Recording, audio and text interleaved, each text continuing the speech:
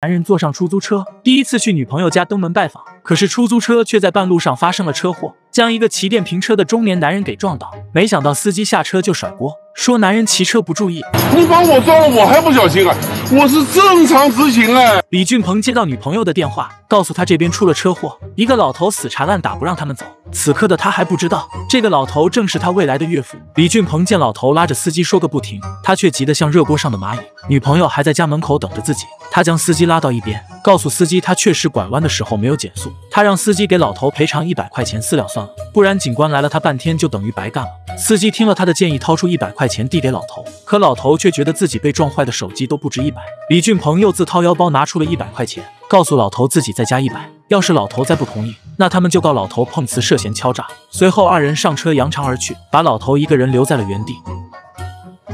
岳父一瘸一拐的回到家，李俊鹏看到岳父当场就吓傻了，恨不得找个地缝藏起来。岳父也注意到自己的准女婿居然是今天和司机联合起来欺负他的人，气得大骂李俊鹏是小吃佬。李俊鹏只能不停的给岳父道歉，告诉他一切都是误会。安琪的母亲也赶紧打圆场，可是父亲却怒气难消，要把送自己回来的吴忠林留下来一起吃饭，还一个劲的给他递花生糖果，对这个女婿看都不想看一眼。饭桌上，岳父给李俊鹏介绍着吴忠林，他是女儿青梅竹马的好友，虽然是大专毕业，但是凭着自己的努力和智慧，已经拥有了一家户外用品店，自己当上了小老板。今天要不是他顺路看到自己，自己还不知道怎么回来呢。岳父越夸越起劲，说吴忠林有车有事业，难得的有出息，还不停的给他夹菜，好像他今天是上门女婿一样。岳父也给李俊鹏夹了一筷子，李俊鹏刚想感谢，可是却被岳父接下来的话噎个半死。岳父让他好好尝尝这块他拿命出去买的三黄鸡。李俊鹏借着上厕所赶紧逃离这尴尬的氛围，他对着镜子里的自己打气，可是却发现了马桶上的乌龟。他好奇将乌龟拿出来，却把乌龟当成了女友青梅竹马的玩伴，一个劲的打着乌龟，没想到直接把乌龟扇进了马桶里。他赶紧下手去捞，可是手却卡住了。李俊鹏使劲的挣脱，结果按上了冲水键，手是出来了，可乌龟却被冲走了。撞向洗衣机巨大的动静引起了外面人的注意，他只能赶出来告诉众人，自己不小心把把一只乌龟给冲走了。岳父立马火冒三丈，那是自己请大师开过光的灵龟，现在却被他给冲走了。李俊鹏告诉他自己想抢救来着，还是没有救回来。看着一家人因为一只乌龟吵闹，吴忠林赶紧打起圆场，说可能是灵龟和他缘分散了，这才走了。李俊鹏为了给岳父赔罪，拿起红酒准备自己打开，没想到力气过猛，拔出开瓶器的时候，被开瓶器的冲力给撞到脑门上。一系列的操作让岳父对他这个上门女婿嫌弃万分。回家之后的他被家人围起来，询问今天相亲的事情怎么样。李俊鹏垂头丧气地告诉众人，岳父可能再也不想见到自己。第二天，为了挽回岳父对自己的印象，李俊鹏将父亲单位给的农家乐票送给了安琪的爸妈。老两口周末准备去农家乐游玩，可是安孝国却担心女儿一个人在家，他打电话给吴忠林，告诉他自己要和妻子出去游玩，但是有点担心家里，想让他去自己家里帮忙看看情况。而家里的一对小情侣正准备过起二人世界。这对小情侣趁着父母出去游玩，准备在家里过二人世界。可是已经上车的父亲却眼皮直跳，直觉告诉他女儿今天把他们骗出去，是用了三十六计中的调虎离山之计。他不顾妻子的阻拦，拽着妻子就要回家看看情况。安琪趁着楼上的老两口出门，准备偷偷用他们走廊厨房里的烤箱。他将腌鸡翅放进去，将烤箱调整成最大火，烘烤时间设定成一个小时。李俊鹏抱着安琪，准备带她去看自己带的礼物。安琪穿上李俊鹏买的衣服，倒好红酒，摆上鲜花和蛋糕。李俊鹏妩媚的走进来，随后跪在地上边扭边唱，唱起了《你是我的玫瑰，你是我的花，你是我的爱人，是我的牵挂》，把安琪逗得合不拢嘴，赶紧拿起红酒喝一口，缓一缓。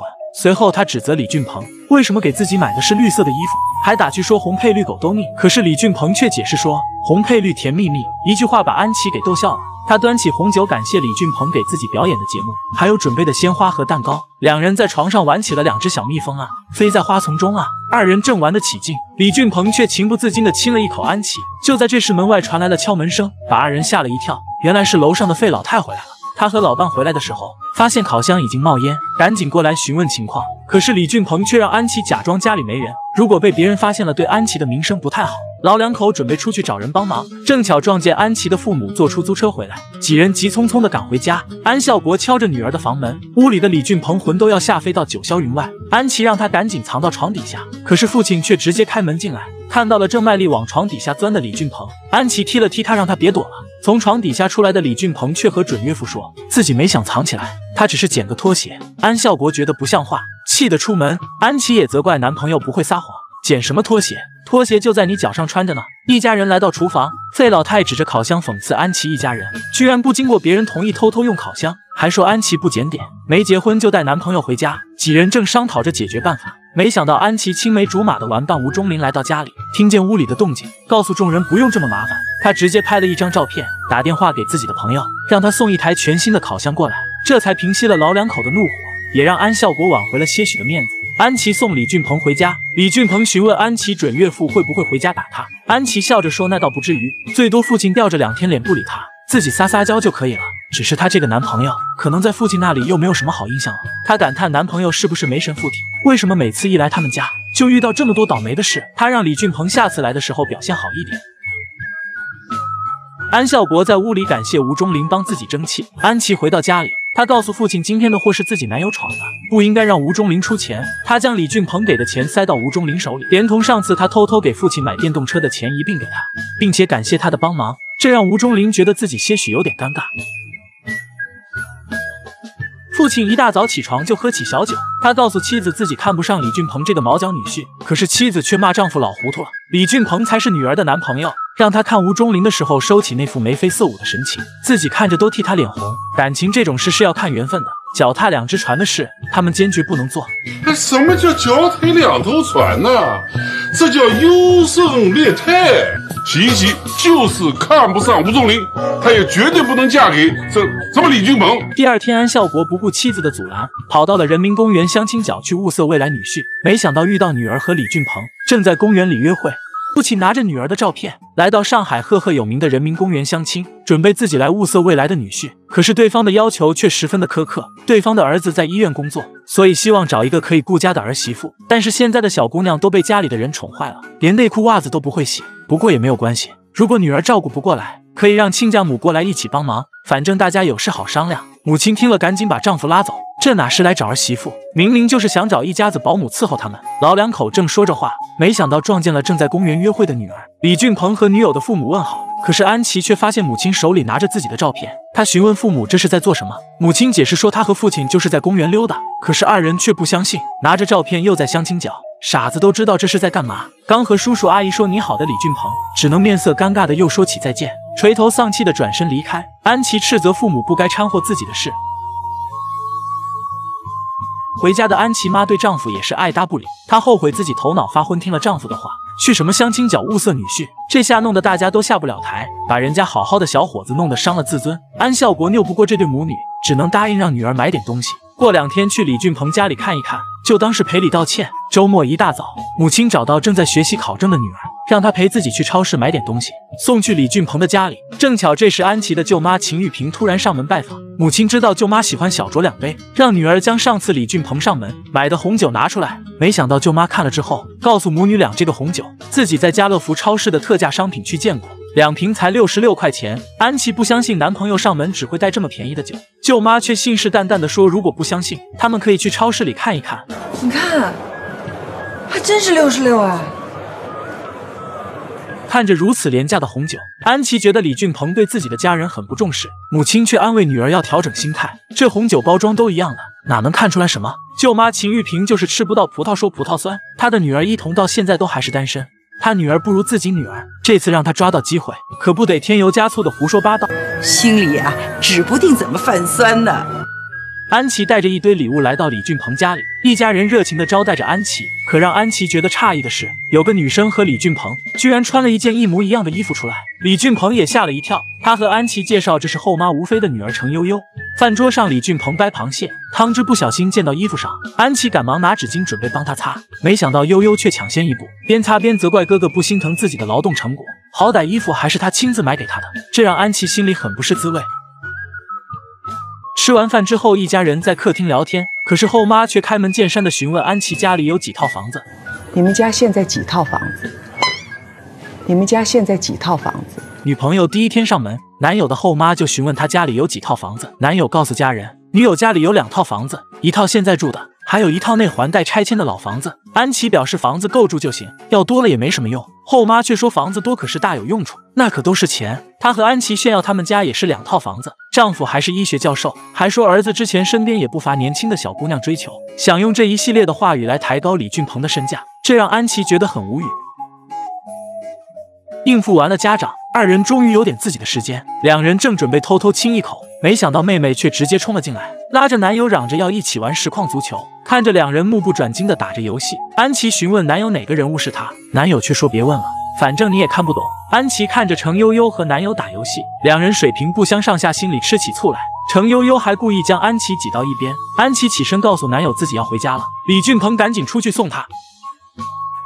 临走前，程悠悠还埋怨安琪这个人小心眼。安琪在回家的路上和李俊鹏抱怨，他居然和后妈的女儿一起打游戏，把自己这个女朋友晾在一边，让自己一个人尴尬的在那里坐着。本来自己第一天上门就紧张，他当时去自己家的时候，出现那么多尴尬的事，自己都一直在他身边。安琪越说越气愤，拉着李俊鹏坐在草地上，询问他第一次上门买红酒的事情。他还记得当时让他上门的时候，一定要穿的隆重，结果他穿着休闲服就来了。李俊鹏大喊冤枉，告诉他那天发生的事情。他告诉安琪，上门的那天自己起了一个大早，专门去理发店做了发型，还去商场买了高级的衬衫和皮鞋，配了一块名牌的手表，最后六千六的西服穿到身上，简直在人群中不要太耀眼。可是，一切都在后妈过来之后搅黄了。后妈为了防止自己被她父母当大款棒，硬是让自己脱掉西装，就连红酒也是后妈买好的。她也不知道价钱到底是多少。安琪只能原谅了她。安琪在一家日企做财务工作，这天财务部的日本部长木村突然来公司视察，给大家来了一个措手不及，大家乱作一团，还把安琪的鞋子给踢飞了。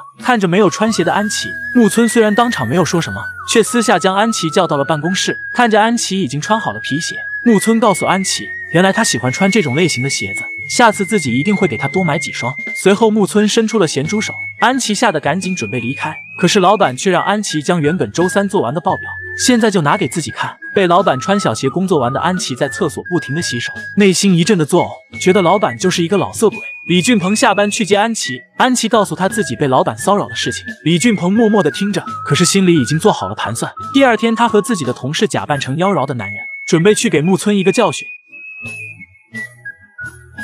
女人被自己的日本老板骚扰，她将这件事告诉了自己的男友。男友和同事打扮成妖娆的男人，准备去教训木村。二人在电梯里将木村堵住，与他发生了亲密的肢体接触，并且拍下了照片，还故意让众人误会木村和他们的关系，让众人差点惊掉了下巴。随后，二人将木村拉到楼道里，威胁木村，如果再骚扰公司的女员工，他们就要好好的给他上一课。女友上班的时候收到了男友发来的照片，也是忍俊不禁。她觉得老板可能不会再骚扰她了，可是没想到老板死性不改，居然把安琪叫到办公室，告诉她自己最近在学中文，想让安琪帮他指导一下。安琪看着老板在看《唐诗三百首》，告诉老板这个对于他来说太难了。老板又拿出徐志摩的书，安琪再次告诉他徐志摩的书如果用日文翻译就失去了其中的味道。可是老板却好像没有听安琪的话，自顾自地盯着安琪身上的装饰。安琪气得用上海话说了一句“小瘪三对牛弹琴”，木村却询问“小瘪三”是什么意思，安琪只能坏笑地告诉他是上海话“亲爱的”意思。李俊鹏见木村没有丝毫收敛。再一次来到木村的公司，当着木村的面做出亲吻的动作。他将木村拉到厕所，告诉他上次自己可能没说清楚，自己的女朋友是安琪。如果他再敢骚扰安琪，自己这个网络工程师分分钟就能将他们的照片发到他们公司的主页上。李俊鹏回家的时候身上奇痒无比，他让妹妹陪自己去医院看病。原来是他穿的奇葩衣服让他过敏了，浑身起了荨麻疹。护士准备给他输液时，却和隔壁的同事讨论去香港游玩血拼抢购的计划，忘乎所以。没想到扎了两次才给李俊鹏扎针成功，手上还起了包。李俊鹏的妹妹对护士的不负责任非常反感，可护士却说是李俊鹏的手太粗，找不到静脉，所以才会起包。三人发生了争执，所幸安琪及时出现，才化解了这场争吵。原来护士是安琪舅妈的女儿伊童。伊童还开玩笑说：“这真是大水冲了龙王庙。如果知道李俊鹏是自己的姐夫，自己一定会慢慢扎针的。”他让姐姐跟自己去前台一趟，自己给姑姑配了药，让她给姑姑带回去。而他真实的目的是想让姐姐小心一点，自己的姐夫才被多扎了一针，他那个妹妹就心疼的不行。这没有血缘关系的兄妹，可一定要看紧啊，别到时候被人卖了还给别人数钱呢。安琪不相信妹妹的话，可是回去的时候却看见程悠悠正大庭广众、无微不至的给李俊鹏挠起后背，这让安琪感到很不舒服。拿起皮包就生气的离开，李俊鹏赶紧让妹妹停手，慌忙的追了出去。二人离开后，吴忠林来到医院里询问护士体检的地方。一身名牌西服的他，在小护士间引起了不小的骚动。他们纷纷热情的招待起吴忠林。从小被寡母穷养的伊童，一心盼着能嫁给富二代，所以自负美貌的他毫不犹豫的主动出击。看吴忠林做完项目，赶紧送上贴心的早饭，告诉他如果不吃早饭很容易低血糖的，并且表示早饭都是含在套餐里，这些都是自己的举手之劳。吴忠林向他表示了感谢。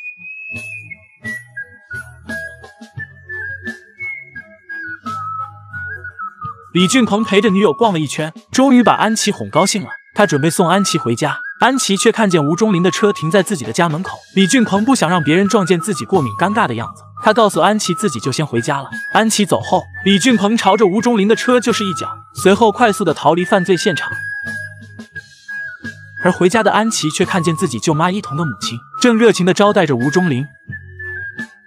女人回家发现自己的青梅竹马居然在家里做客，而自己的舅妈却在殷勤的招待着。男人看安琪回来，想要约她一起出去吃饭，可是安琪却以自己要备考注册会计师而拒绝。舅妈看准时机，拉着一表人才的吴忠林一同离去。半路上，舅妈和他搭讪起来，得知他是从英国回来的海归，谎称自己的女儿最近在学英语，如果有什么不懂的可以问他。又从吴忠林那里要来他经营户外用品店的名片以及联系方式。舅妈想要挖墙脚，把吴忠林介绍给自己的女儿。这天晚上，他就悄悄地来到户外用品店，准备先来一招知己知彼。舅妈询问店员店里的生意情况，又悄悄打听这个店是买的还是租的。看店员觉得奇怪，舅妈谎称自己是吴忠林的远房亲戚，既然他今天不在，那自己就下次过来。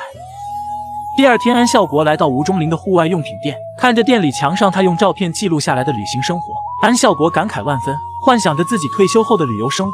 可是现在安琪还没有成家，这些事情也就是自己想想罢了。吴忠林却把他的话当真了，他把自己的单反相机送给了安孝国。安孝国不好意思接下这个礼物。就在这时，舅妈探头探脑的走进店里，看着自己的姐夫，正不好意思的推脱相机，自己上前一把拿了过来。他最近正好要参加一个户外活动，需要用相机拍照，正好缺一个相机。既然姐夫这么客气，那自己就不客气了。安孝国气得牙痒痒，一把夺了回来。二人争吵了起来，吴忠林只好又拿了一台数码相机送给舅妈。舅妈询问使用方法，顺带拿着相机对着他拍了一张照片。安孝国已经气得不行，将秦玉萍连拖带拽的拉了出去。大街上，安孝国指责秦玉萍想撬自己的女婿，可是舅妈却说安琪已经有了男朋友，自己的女儿还是单身。他给女儿介绍对象有什么错？让姐夫不要占着茅坑不用。自己的女儿又不比安琪差，没准就被吴忠林给看上了。不信他们就走着瞧。母亲来到医院门口，找到女儿，将吴忠林的照片给她看。一同看着照片里的男人，满眼放光。他告诉母亲，吴忠林前天还来自己的医院体检，身上的西服加起来都好几万。母亲告诉女儿，人家是英国回来的海归，家里有车有房，还开了一个户外用品店。母亲告诉女儿，她的姑父对吴忠林也比较看重，让女儿一定要把握先机。于是，一同来到吴忠林的店里，想要制造一场不期而遇的邂逅。他假装看屋里的户外运动服，随后看见吴忠林满眼的惊喜，对他说：“真的好巧啊。”上次见面还是医院体检的时候，吴忠林看他换了衣服，差点没认出来。一同开门见山的将相机还给他，告诉他母亲就喜欢贪小便宜，看着姑父有相机，自己也想要。吴忠林得知一同是安琪的表妹，将相机又递给了他。一同说自己不喜欢接受别人的小恩小惠，不如自己去请他吃饭。没想到吃完饭后，吴忠林又抢着买单。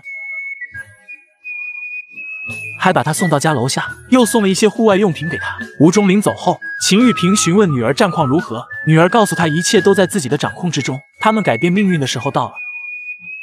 女人的父亲准备去参加同学聚会，她还不知道父亲会在同学会上遇到自己未来的婆婆，而婆婆却是父亲年轻同窗时候的死对头。如果不是婆婆当时举报父亲姐姐上海有工作，父亲也不会被派遣去农村，一待就是十年。饭桌上无非炫耀着自己的家庭条件，还有找儿媳妇的标准，一定要贤惠持家，会做家务。男人在外面打拼，女人把家里收拾得亮亮堂堂的就行。安孝国却嘲笑他女人家务做得再好。最多也就是一个金牌保姆，二婚的女人什么事都不用干，卫生再不打扫干净，在家里哪还有什么立足之地？不甘示弱的吴非说安效国这么没有教养，生的女儿肯定也好不到哪去，并诅咒安孝国的女儿这辈子都嫁不出去。二人争吵了起来，同学却责怪安孝国哪壶不开提哪壶。他告诉安孝国，吴非也不容易，虽然住着高楼大厦。可还没有和丈夫领证一直在同居的事情，安孝国趁机嘲讽吴非找了一个有钱的男人，结果连田房都算不上。看着二人又要打起来，同学赶紧将吴非拉走，制止了这场闹剧。同学带着吴非来到茶楼，让吴飞消消气。他询问吴飞为什么没和李建国领结婚手续，吴飞告诉同学老刘，当年李建国妻子病逝，他在病床前给妻子发过誓，这辈子不会再娶。原本自己只当他是给前妻一个安慰，便陪在了他身边。可是自己在他家伺候这么多年，每次一提结婚的事情，李建国就左右而言他，他也没有办法就这么一直耗着了。老刘告诉吴飞，他这条咸鱼翻身的机会来了。随后老刘悄悄告诉了他一个计划。晚上吴飞哼着小曲，很晚才回去，还带着一束玫瑰花。他告诉众人是一个同学送的。第二天，他又精心打扮，准备出门，告诉丈夫今天自己要出去见同学，就不回来吃饭了。吴非异常的举动让家人都觉得怪异。他找到老刘，告诉老刘他的方法都没有奏效。老刘觉得可能是他们下的料不够猛，这次他就给李建国来一剂猛药，刺激刺激他。吴非询问老刘是什么猛药，可老刘却让吴非将昨天买花还有自己帮他出主意的钱一并给自己，加在一起四百二十块钱。吴非为了能够办成大事，只能默默忍受着老刘无理的要求。当天晚上，吴非就在客厅打起了电话，故意说的很大声，将李建国吵醒。李建国悄悄的起床，结果偷听到吴非正说着自己不愿和他领证的事。对方主动提出向吴非求婚，并且约吴非后天见面。吴非挂了电话，被身后出声的李建国吓了一跳。李建国让他赶紧回屋，不要在客厅丢人现眼。回屋后，李建国斥责吴非就不该去参加什么同学聚会，都年过半百了还心思活络。吴非告诉他自己也没有办法，他跟了李建国快十年了。他都不愿意和自己领证，女人都是需要面子的。每次别人一问结婚这个问题，他都恨不得找个地缝藏起来。这次同学会遇到了老刘，他老婆也去世五六年了，他答应和自己领证，并且承诺不会委屈自己，还给自己一周的时间考虑。李建国虽然嘴上没有说什么，但是心里却焦虑了起来。吴非找到老刘，告诉老刘他的方法十分有效。老李已经紧张的话都说不清楚了。老刘告诉他，这好戏才刚刚开始，让吴非好好的配合自己再演一出大戏。女人和自己的老同学合伙，准备诓骗自己同居十年的未婚夫，想逼着未婚夫和自己领结婚证，并且答应事成之后给同学一千块钱出场费。第二天，老刘捧着玫瑰花来到家里，居然当众向吴非求婚。老刘的行为引起了李建国的不满，可是老刘却说，吴非虽然在他们家待了十年，但是他们没有领结婚证，自己就有权利追求吴非，就有公平竞争的权利。吴非告诉李建国，本来自己想这样糊里糊涂的过一辈子。可是这次同学聚会，同学都说他们是非法同居，甚至说他连田房都不如。为了自己的面子，他只能选择老刘了。老刘准备拉着吴非离开，李建国拽回吴非，为了挽回他的心，李建国当众表示吴非是自己的合法妻子，答应会和他一起领证。吴非的目的就这样达到了。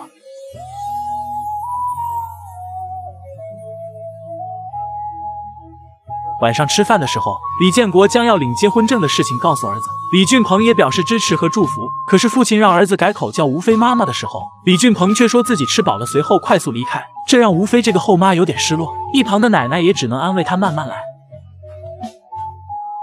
吴非未雨绸缪，准备将自己和前夫的财产全部转到女儿程悠悠的名下，为日后的财产问题消除隐患。可程悠悠却说自己根本不在乎自己的哥哥将来会不会分走自己的财产。心思活络的母亲看出了女儿的心思。二人准备前去过户，半路上遇到了又来讨要演出费的老刘。已经给过一千的吴非看着老刘这个无底洞，拉着女儿就跑，没想到脚下一个不稳，扭到了脚踝。老刘告诉吴非，如果他想赖账，就告诉李建国事实真相，让他和李建国一拍两散。女儿却一脚把老刘踢翻，警告他再骚扰他们就要报警。回到家的吴非被医学院教授的丈夫诊断出扭伤了脚。吴非告诉众人，这段时间自己不方便做家务，便顺理成章的把女儿安排到家里。李俊鹏还主动将自己的房间让给悠悠住，自己睡在外面的沙发。悠悠为了表现自己，亲自做了四菜一汤，奶奶都忍不住夸奖悠悠懂事能干。悠悠让大家先吃，自己给哥哥留一点。李建国却说儿子今晚去陪他的女朋友了。看着有点失落的女儿，吴非告诉李建国，以后让李俊鹏回家吃饭，外面都是地沟油，不健康。第二天，悠悠爱不释手的闻着李俊鹏洗好的衣服，没想到被母亲发现了。母亲告诉他，这种默默奉献的感情就是喜欢。他告诉悠悠，只要他同意办理房产过户到他一人的名下，自己就答应帮女儿一马。谈恋爱是平等的，大家都有权利竞争，更何况他们是近水楼台，到时候就看李俊鹏自己怎么选了。你听我的，我来安排。这个女人正被开豪车的富二代追求，可是她却不知道，女人喜欢的居然是自己同父异母的哥哥。为了摆脱男人的骚扰，她找到自己的哥哥，请求哥哥假扮自己的男友打发富二代。心软的李俊鹏答应了她，并且告诉她这是最后一次帮她。这件事也不能让自己的女朋友安琪知道。安琪看着父亲把玩着单反相机，询问相机哪里来的。父亲告诉安琪是他青梅竹马的玩伴吴钟林送的。他告诉女儿这是钟林淘汰下来的相机。识货的安琪告诉他，这个相机是最新款，价值一万多。他气得责怪父亲不该贪便宜，赶紧将相机拿走。他将吴钟林约到附近的面包店，准备将相机还给他。而面包店里，李俊鹏正假装着程悠悠的男朋友。程悠悠拉着李俊鹏离开，可是富二代坚持不相信，除非他现在在路边亲李俊鹏一口，他就相信他们是恋人。程悠悠就这样亲上了一脸懵的李俊鹏，而这一切正好被安琪看个一清二楚。安琪气冲冲的冲上前，将二人拉开，随后狠狠的给了李俊鹏一巴掌。李俊鹏赶紧向女友解释，可是程悠悠却说亲者自亲，更何况他们还没有血缘关系。安琪气愤的准备离开，可是吴钟林却劝安琪这个时候一定要冷静，心平气和的听俊鹏解释清楚。公园里，李俊鹏和安琪解释自己只是帮助妹妹摆脱别人的骚扰。得知事情真相的安琪原谅了俊鹏，但是要李俊鹏以后必须和悠悠保持距离，误会解除，二人和好如初的抱在一起。而在他们身后的吴钟林却黯然神伤。第二天，悠悠发烧烧到三十九度，父亲不在家，后妈的脚又扭伤了，李俊鹏只好自己送悠悠去医院。可没想到今天又是安琪的妹妹值班，一同看见李俊鹏觉得狐疑，因为早上姐姐打电话告诉他，今天要和男友一起去看电影。医院里的李俊鹏坐立不安，思前想后，决定坦白从宽。他告诉安琪，因为怕她误会，所以他谎称自己今天有事，不能陪她看电影。实际上是悠悠病了，家里没人，只好自己送她来医院看病。他希望安琪能够理解，没想到对面传来安琪爸的声音。安孝国还询问悠悠是谁，吓得李俊鹏赶紧挂断了电话。李俊鹏找到安琪，安琪感谢他的坦白。看着女友没有生气，李俊鹏赶紧去买蛋糕哄她开心。李俊鹏走后，他的手机收到了短信。安琪打开手机，看着悠悠发来的短信，他让哥哥现在回去帮自己修电脑。安琪将悠悠的短信删了，又把李俊鹏的手机关了机。李俊鹏回来的时候还以为手机没电了，便将手机丢到了一边。安琪就这样享受起了属于他俩的二人世界。安琪将男朋友送到家楼下，两人正准备来个离别的香吻，没想到悠悠却冲出来打了李俊鹏，询问他为什么不接自己的电话。李俊鹏告诉他自己的手机没电了，悠悠一把夺过来，告诉他这明明就是关机了。安琪承认是自己关的机，让李俊鹏赶紧去给自己的好妹妹修电脑，以后自己不和她玩了。悠悠让李俊鹏赶紧回家修电脑，可是李俊鹏却赶紧去安慰自己的女朋友。回家之后的吴非告诉女儿，这个安琪绝对不是一个省油的灯，表面看着柔柔弱弱的，居然背地里干删短信、关手机的下作行为，这将来要进门了还得了？他们一定要想办法整整他。第二天，程悠悠居然去了安琪工作的地方。准备挑拨李俊鹏和安琪的感情，有什么事儿吗？没事儿啊，想找你一块吃个饭。小姑子请未来嫂子吃饭，想和嫂子抢没有血缘关系的哥哥。她故意告诉嫂子，自己已经搬到了哥哥的家里，哥哥还把他的房间给让了出来，自己睡到了沙发上。哥哥睡觉踢被子，还得辛苦自己每天半夜起床帮他盖被子。安琪听完愤怒不已，让程悠悠回去转告自己的男友，姑奶奶不奉陪了。安琪打电话给自己的青梅竹马。让他开车来自己家的胡同。胡同口，安琪和男友正在吵架。安琪告诉李俊鹏，他们俩的感情结束了。他的后妈嫁过来，还买一送一带了一个儿媳妇。他抢不过他那个近水楼台的妹妹。他指责男友还把床让出去给别人睡。吴钟林开车来到胡同口，安琪上车让吴钟林开车离开，留下一脸诧异的李俊鹏。吴钟林询问安琪怎么了，安琪告诉他就是想让他帮个忙，给男友一点颜色看看。二人来到茶楼，李俊鹏打来了电话，安琪让吴钟林替自己接电话，随便说点什么都行。吴钟林告诉他安琪去上厕所了，等会让他回来的时候再给他回电话。晚上，吴钟林送安琪回家，在配合安琪演完戏后的他，忍不住向安琪真情流露。他告诉安琪自己暗恋了她九年，从上学的时候自己就喜欢上了他。原本以为二人会顺利的考进同一所大学，可是没想到自己高考失利，去了外地的大专。可是安琪却考上了名牌大学，这让二人的距离越来越远。原本他以为自己可以克制住这份感情，可是如果今天不说，自己可能再也没有勇气说出来。吴钟林的大胆表白给了安琪一个措手不及。他告诉钟林自己爱的是李俊鹏，所以无法对他的感情做出回应。李俊鹏守候在安琪家门口，撞见了送安琪回家的吴钟林。他告诉安琪自己这辈子只会爱她这一个女人，别想将她给甩了。他更不会给别的男人追求她的机会。他拿出手机递给安琪，并告诉她自己妹妹的联系方式和短信，他想删就删，实在不行他把手机砸了都行。就在这时，妹妹又打来了电话。李俊鹏当着安琪的面接通电话，警告自己的妹妹，以后不要再骚扰自己的女朋友，更不要对着自己这个哥哥有什么非分之想。他这辈子只会娶安琪做老婆。安琪眼含泪水询问俊鹏爱不爱自己。李俊鹏对着大街小巷的邻居大声地说出了自己爱安琪。安琪被俊鹏的真挚感动，二人又紧紧地拥抱在了一起。被拒绝的程悠悠感谢母亲做的这一切，她安慰母亲自己没事，只是哥哥现在还爱着安琪，只要哥哥还没有结婚，自己就有公平竞争的机会。安琪的注册会计师成绩下来了，只差三分的她懊恼不已，而父亲却觉得女儿就是被李俊鹏给带坏了。以前他考什么日语都是一次性就过了，安琪却告诉父亲，这两个根本不是一个等级的考试。李俊鹏为了让安琪散心，提议去参加 CS 真人对抗。安孝国夫妇害怕孤男寡女出去会出事，安琪却解释他们只是去游玩散心。安孝国让女儿和他们约法三章，可女儿强调不能和李俊鹏做出格的事。安琪发誓赌咒之后，父母才勉强同意让女儿出去游玩。二人就这样来到了神鹰俱乐部，准备开展户外真人 CS 运动。女人和男友去参加户外。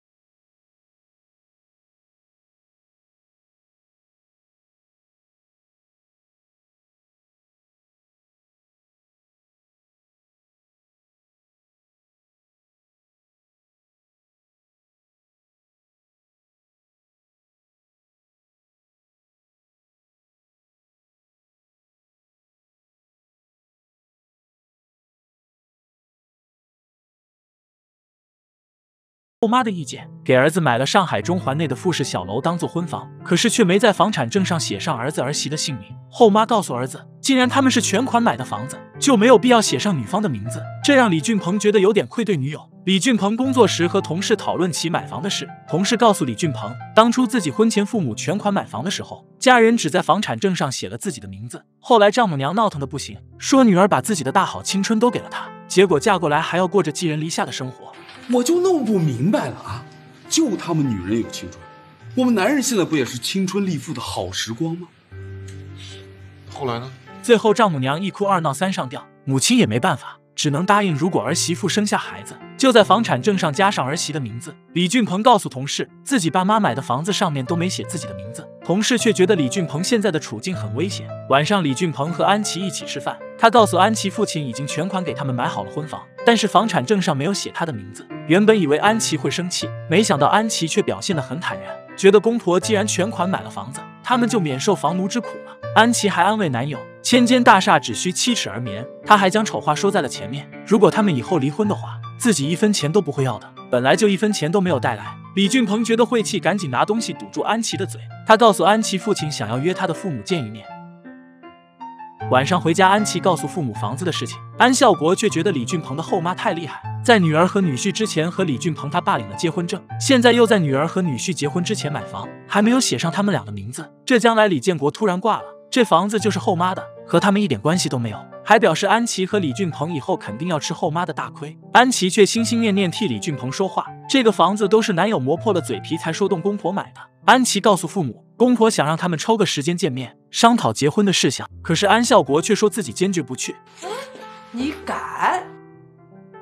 还没等到亲家见面吃饭，安琪的舅妈便借着自己的女儿在三甲医院从实习护士转正，又加上找了新男朋友的由头，请安琪一家人吃饭。可是看到吴忠林和伊童一起走入饭店时，安琪一家都傻眼了。只有李俊鹏这个情敌偷着乐。自从上次吴忠林表白被安琪拒绝，他在偶然间发现了伊童和安琪相同的习惯，他们吃蛋挞都是用勺子先从中间吃。吴忠林便决定用和一同的恋爱来忘记安琪。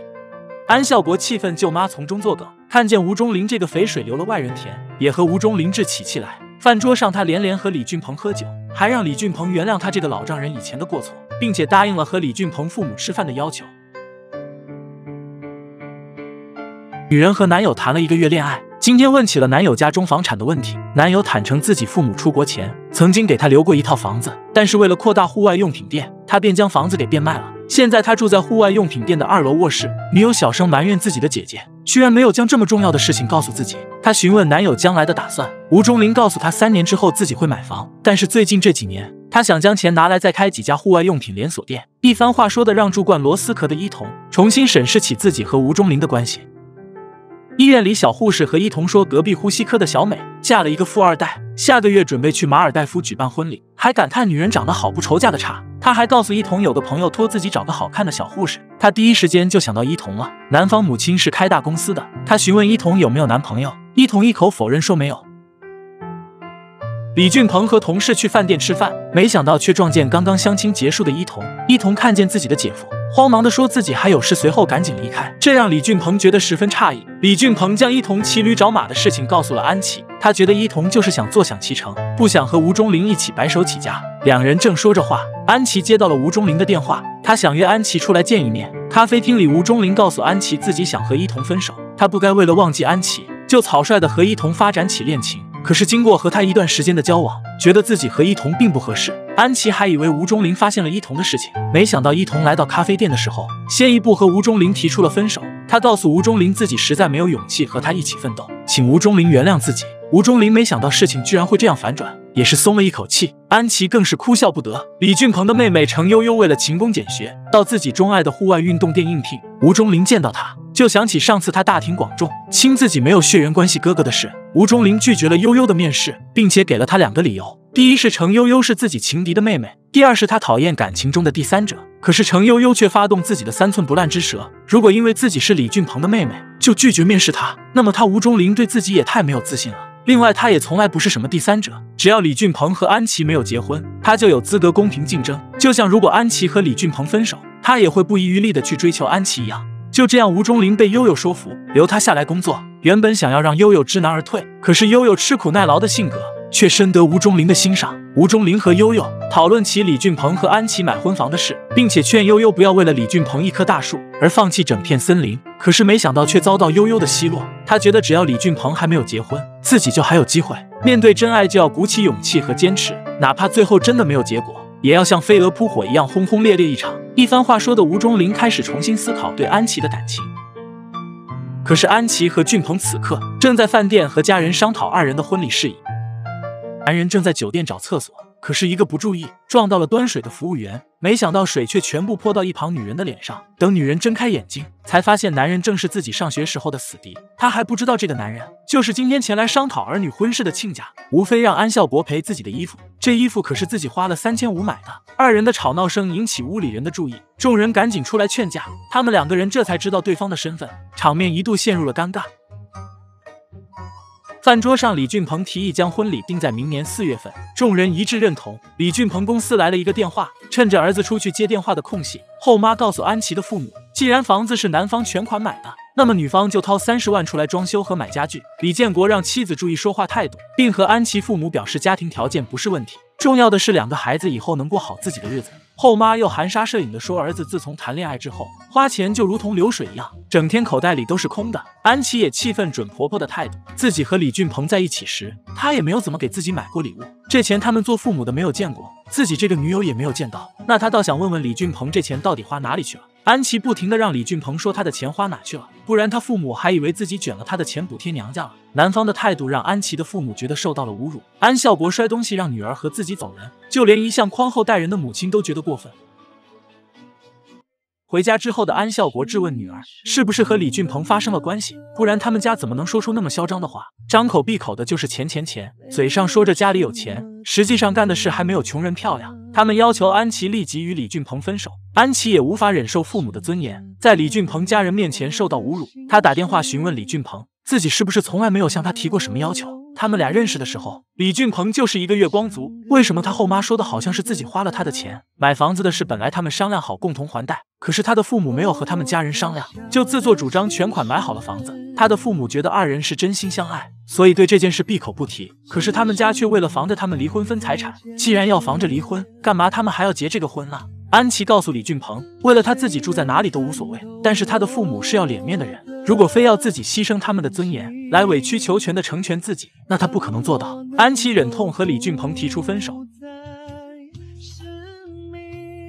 李俊鹏苦苦守候在安琪家楼下一整晚，可是安琪却一直不愿意开门。看到这一幕的安琪妈心生怜悯，可是安孝国却让妻子千万不能心软，无非那个恶婆婆他们都搞定不了，更何况是善良的女儿。他告诉妻子，治疗失恋最好的办法。就是迅速开始一段新的恋情。一番话说完，安孝国被妻子臭骂一顿，让他不要再打吴忠林的主意。女儿又不是菜市场的臭鱼烂虾，谁都可以随便买走。她告诉丈夫，女人也有女人的尊严，并且警告她女儿现在正在敏感期，不允许丈夫和吴忠林来往。李俊鹏还等在楼下，安琪的舅妈带着女儿前来，看着李俊鹏在门口觉得奇怪。安琪妈招呼二人，可是却没有让李俊鹏进屋。安琪怕舅妈和妹妹询问，赶紧往楼顶跑去。李俊鹏像有所察觉一样，也跑到另一边的胡同口，看到了躲着自己的安琪。安琪看到李俊鹏又躲了起来，可是李俊鹏却让安琪接电话，他告诉安琪一切都是他们家的错，现在这个情况也是他们控制不了的。他询问安琪是否真的这么狠心，这么狠心的和自己分手。如果抛开现在的一切，他只想听安琪一句话：他到底还爱不爱自己？安琪的眼泪止不住的流出来，满脑子都是自己和李俊鹏在一起的点点滴滴，那些甜蜜的时光，怎么能是一句分手就能全部忘记的？夜晚的来到。也不会忘了看着安琪没有回应自己，李俊鹏告诉安琪，自己真的很爱很爱她，他这辈子只爱安琪一个人。李俊鹏落寞的转身离开，安琪看着空荡荡的巷口，泪如雨下。他说出了自己的真心话，他一直一直都深爱着李俊鹏，而现在面对这样的结局，深爱对方的两人痛苦不已。放下所有梦和烦恼。却放不下回忆的父母陪着女儿去商讨结婚事宜，可是男方后妈觉得他们就是图钱，处处提防贬损着他们，看不惯亲家高高在上的态度。安孝国夫妇坚持让女儿和男友分手，父亲还认为忘记一段感情最好的方法就是开始一段新的感情。他不顾母亲的警告，将暗恋女儿的青梅竹马叫到家里，并且鼓励钟林常来家里做客。得知吴钟林之前在英国待过，便一时兴起。让吴忠林教自己西式面条的烹饪方法。可是失恋敏感期的安琪看到父亲和吴忠林做的意大利面，却和父母吵了起来。自己刚刚失恋，他们就把吴忠林请到家里，到底是什么意思？他现在只想一个人清静一会。情绪失控的安琪将意大利面全部倒进了垃圾桶。吴忠林指责安琪不该这样对待父亲，可是安孝国却意外的没有指责女儿。安琪得知父亲自己出去散心，想着去和父亲道歉。却看见父亲坐在长椅，看着隔壁的妇女情深，看着日渐苍老的父亲为自己的婚姻大事心烦。安琪后悔今天的举动，伤了父母的一片苦心。安琪将衣服给父亲披上，可是安孝国却询问女儿饿不饿，自己回家给她做饭吃。安琪告诉父亲，自己小时候也像那个小女孩一样依赖着父亲，自己已经做了二十几年的小公主，稍微有点不开心就随意的使性子，从来没有让他们多享点福。现在自己想清楚了。他要试着忘记李俊鹏，试着接受吴忠林，更会好好的孝顺父母。安琪的话让安孝国欣慰不已。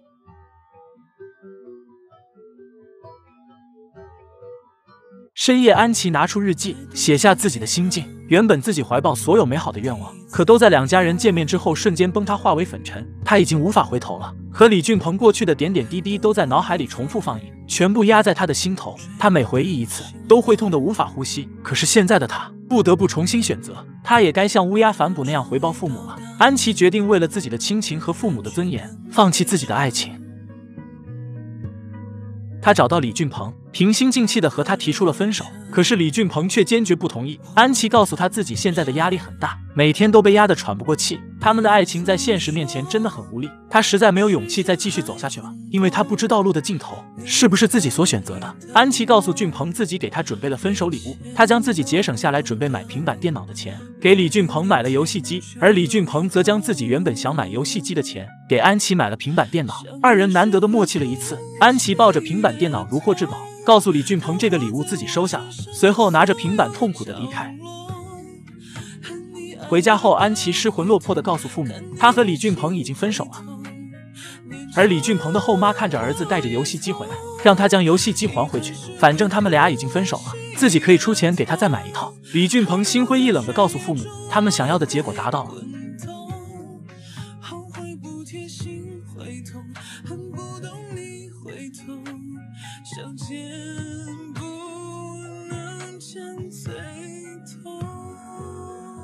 女人找到青梅竹马的好友，告诉他自己想为了父母和他试着在一起。可是她现在还忘不掉自己的前男友。她问男人愿不愿意接受这样的自己，没想到男人却一口答应下来，并且告诉女人自己等这一天等了九年。而女人的前男友因为失恋闹起了绝食，连平时最爱吃的橙子也不吃了。妹妹看着哥哥这副半死不活的样子，决定为他做点什么。程悠悠自作主张跑到安孝国家里，想替自己的母亲道歉，并且告诉二人哥哥因为和安琪分手。和家人闹起了绝食，他知道安琪姐现在肯定也是这样。他请求安孝国夫妇答应安琪和哥哥的婚事，没想到却遭到安孝国的嘲讽。他告诉悠悠，自己的女儿是个体谅父母的好孩子，不会做出绝食这种举动。况且现在女儿已经走出了失恋的阴影，他让程悠悠不要白费心思了，让自己的哥哥好好吃饭，早点忘记自己的女儿。程悠悠走的时候，在胡同口撞见了坐吴中林车回来的安琪。吴中林帮安琪解安全带的动作，让躲在角落的悠悠误以为二人在接吻。悠悠觉得安琪喜新厌旧，愤怒的离开，回家将好不容易要吃饭的哥哥给臭骂了一顿。成天不吃饭，摆个死人脸，以为自己对爱情忠贞不一，却不知道安琪已经另寻他欢。李俊鹏气得摔了筷子，自己和安琪分手了，用不着他来教育自己。真是狗拿耗子，多管闲事。几句话说的程悠悠气得离开，李俊鹏也没有胃口，独自回屋，留下了不知所措的奶奶。李俊鹏去安琪的公司架服务器，在大厅遇到了安琪，二人四目相对，准备擦肩而过时，安琪忍不住告诉李俊鹏她瘦了。李俊鹏也告诉安琪她的气色也不好，让她多注意休息，多补充一点维生素。李俊鹏准备离开，安琪叫住了他，可是却被突然闯进来的吴忠林打断。他来接安琪一起去看电影。李俊鹏看着二人真的在一起了，只能苦涩的说了一句挺好的，随后转身离开。三人各怀心事，复杂和矛盾在他们心中不停的交织。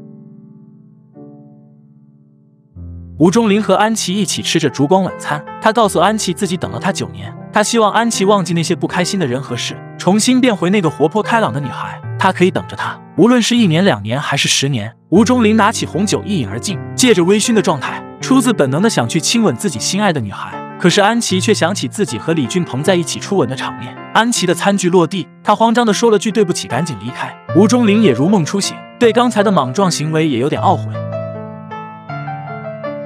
安琪的父亲认为钟林脸皮太薄，所谓好妻就怕赖汉磨，自己的女儿是个传统的女孩，如果女儿结婚了，一定会好好过日子的。他暗示吴忠林要加快脚步，速战速决。吴忠林深思熟虑之后，买了一克拉的钻戒，准备向安琪求婚。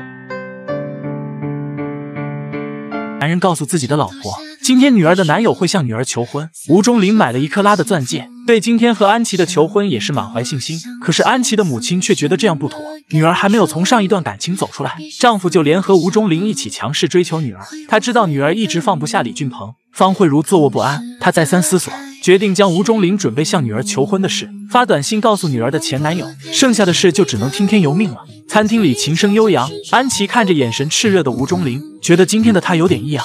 服务员送来了鲜花，吴忠林将鲜花献给了安琪，随后拿起钻戒向她求婚，这让安琪觉得很是不安。吴忠林告诉安琪，他知道安琪对李俊鹏的感情非同一般，也知道爱的越深，痛的越深。但是他愿意用自己余生的时光陪着安琪一起疗伤，希望安琪给自己一次机会，让自己这辈子能够好好的照顾她。他拿起钻戒，缓缓的准备戴到安琪的手上。就在这时，李俊鹏赶到，等一下。安琪看着赶来的俊鹏，一时之间失了神。李俊鹏上前对着吴忠林说了句抱歉，随后将安琪强行拉走。看着离去的二人，吴忠林知道自己可能永远走进不了安琪的心里。二人在路边发生了争吵，李俊鹏质问安琪他们究竟在做什么？为什么明明相爱却要彼此伤害？他记得安琪曾经说过，他可以不要房子，不要车子。无论发生什么，他们都要在一起。现在自己也什么都不要了，他让安琪和自己一起私奔。安琪告诉李俊鹏，他不能那么自私，他要为自己的父母考虑。看着安琪转身离开，李俊鹏泪如雨下。可就在这时，他们的身后开来一辆急速行驶的货车。安琪出于本能，慌忙的将李俊鹏推开。可是李俊鹏一把推开了安琪，自己却被货车给狠狠的撞倒在地。医院里，护士不停的忙碌。头部受伤的安琪从昏迷中苏醒，她告诉父母，是李俊鹏在关键时刻救了自己。她请求父母不要再拆散她和李俊鹏，自己真的离不开他。李俊鹏的家人火急火燎的来到医院，医生告诉他们血库备血不足，现在需要紧急抽血。父亲准备去抽血，可是后妈却说丈夫有高血压不能抽。就在这时，安琪冲了出来，告诉众人抽自己的血。安琪躺在手术台上，看着对面这个为她豁出性命的男人，她知道这个男人就是自己的一生所爱。李俊鹏的手术很成功，医生告诉众人，病人的状态很好，只要住院慢慢休养三个月就可以康复。李俊鹏的父亲让安琪回去休息，可是安琪却坚持要守着俊鹏。昏迷的李俊鹏还说着要和安琪永远在一起的话，他们还要一起结婚。安琪答应李俊鹏，自己再也不会离开他了。而听到这些的吴忠林默默的退出了医院。安琪辞掉了工作，专心在医院照顾李俊鹏。安孝国也对这个毛脚女婿态度发生了转变。为了女儿的幸福，他也只能退步接受。李俊鹏在医院享受着安琪的照顾，安琪也会时不时的给李俊鹏按摩抓痒，还将他很久没洗澡的后背给他闻。三个月很快过去，在安琪的精心照料下，李俊鹏已经完全康复，可以出院了。吴忠林来到医院看望李俊鹏，并且告诉二人自己要回英国了。他祝福安琪和李俊鹏能够幸福。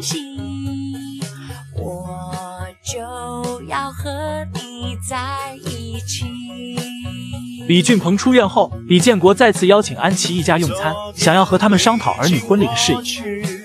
这对父母商讨儿女的婚事，男方全款买了房子，女方准备买家里的电器，后妈却说他们买家电自己要把把关。女方父母告诉众人自己肯定买名牌电器，奶奶承诺男方负责一切的酒宴和装修费用。这老子挣的钱不就是给儿子花的吗？一句话惹得后妈很是不爽。李俊鹏通过面试，如愿以偿跳槽到了全球五百强的公司，薪资也翻了一番。安琪也找到了新的工作，小两口的生活获得了暂时的平静。李俊鹏和父母提出要先和安琪拍结婚照，父亲得知定金就要先付三千，害怕李俊鹏日后乱花钱，提议让他每个月上交三千元给后妈，让后妈开个户头帮他存着。李俊鹏看出父亲的用意，告诉他安琪绝对不是贪自己钱的人。父亲却说，既然安琪这么深明大义，他肯定不会和你计较这些的。安琪和李俊鹏去影楼拍了很多婚纱照，又去户外拍了很多照片。可是安琪最后选下来还多出二十多张。摄影师告诉二人，如果想把照片全部装订成册，多出的照片每张要加收一百五十元。安琪为了给李俊鹏省钱，想再删除一些照片，可李俊鹏却告诉摄影师，这些照片他们全部都要了。李俊鹏和安琪和好以后，每天都来安琪家里蹭饭，这让安琪家的支出骤然上升。安孝国开始在妻子面前抱怨，妻子告诉丈夫李俊鹏，为了给安琪买戒指，平时也是省吃俭用。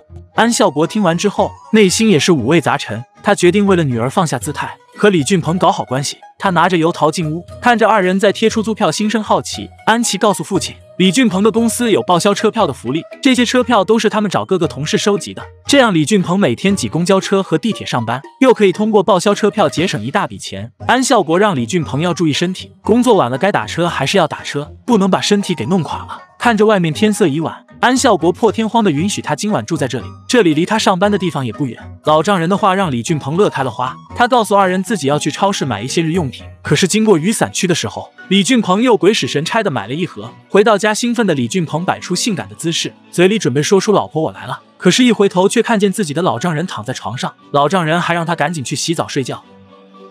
原本想着美事的李俊鹏，就这样在岳父的鼾声和外面野猫的叫春声中度过了一个难忘的夜晚。可是安琪却做起了噩梦，梦里的她被婆婆不停的打压，可是李俊鹏却在一旁袖手旁观。你以为他会帮你啊？他是我儿子，怎么可能帮你啊？媳妇是外人，外人，只要你踏进我李家门，就什么都我说了算，我说了算。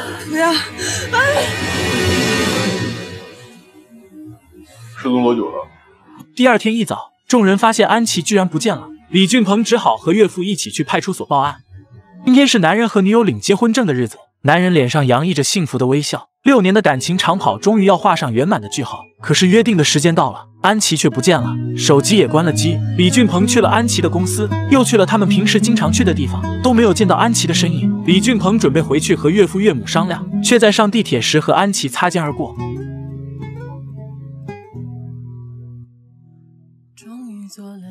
回到家的李俊鹏看到了四个家长围在一起，不祥的阴云笼罩在每一个人脸上。李俊鹏的后妈打趣安琪像电影里的逃婚，李建国让后妈少说两句，当务之急先去报警。李俊鹏和岳父一起去派出所报案，可是民警告诉他们，按照规定，成年人失踪四十八小时以上，他们才会立案侦查。两家人急得如热锅上的蚂蚁，而安琪却去了敬老院，找到了李奶奶。他告诉李奶奶，自己一直盼望着结婚，可是越接近结婚，自己的心里就越慌。李奶奶告诉安琪，她在这个敬老院里一直是孤苦伶仃的一个人，是她和李俊鹏经常来陪伴自己。李俊鹏经常教自己上网打字，而安琪每次来都给自己带好吃的水果。他们是天造地设的一对。俊鹏是个可以值得托付的孩子。还记得那时你挽着奶奶的胳膊，让奶奶给你们当结婚时的证婚人吗？那个幸福的微笑，奶奶可是一直还记得。奶奶的安慰让安琪笑了起来。她打趣安琪来的时候像个苦瓜，现在笑起来像朵花一样。安琪询问奶奶自己应该怎么办，奶奶告诉她一切跟着自己的内心走，幸福的路是自己选的，如果选准了，就勇敢大步的向前走，好日子就会在前面等着你呢。李俊鹏接到李奶奶的电话，来到敬老院，看到了蹲在路边的安琪。安琪满眼含泪的告诉李俊鹏自己错了，他真的很害怕，如果他想骂自己，他绝对不会还嘴的。可是李俊鹏却紧紧的抱住了安琪，他让安琪什么都不要说了，自己全部都懂。别人怎么说我不理智呀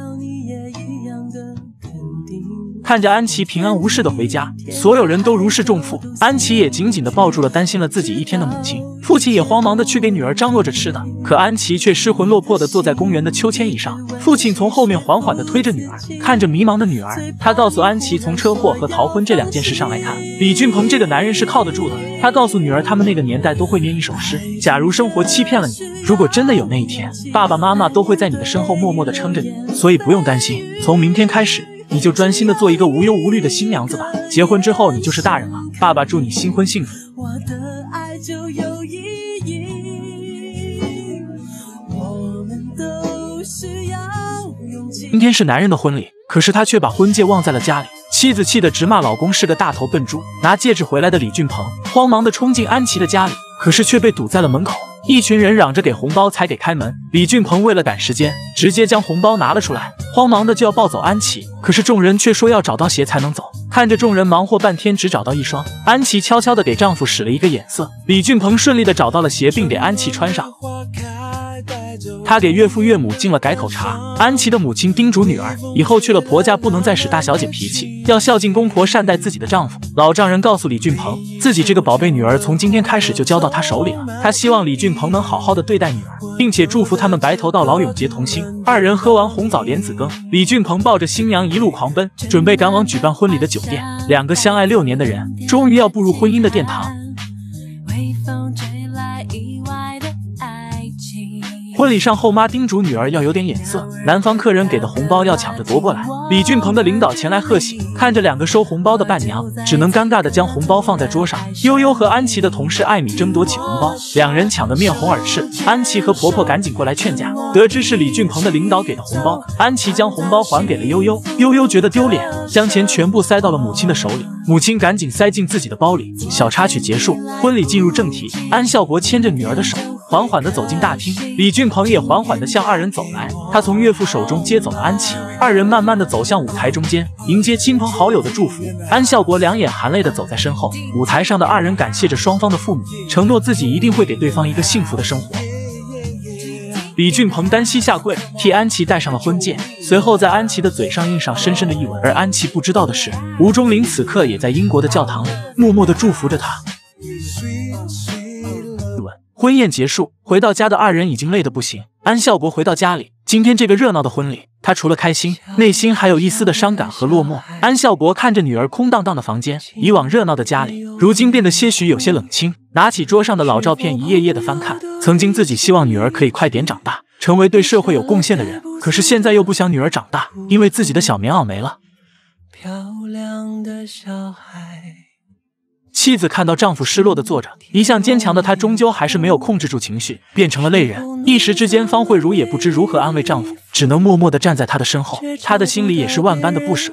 女儿出嫁的时候，她才真正的体会到，女儿是娘的心头肉。可是不管女儿走到哪里，自己的心还会永远的放在她的身上。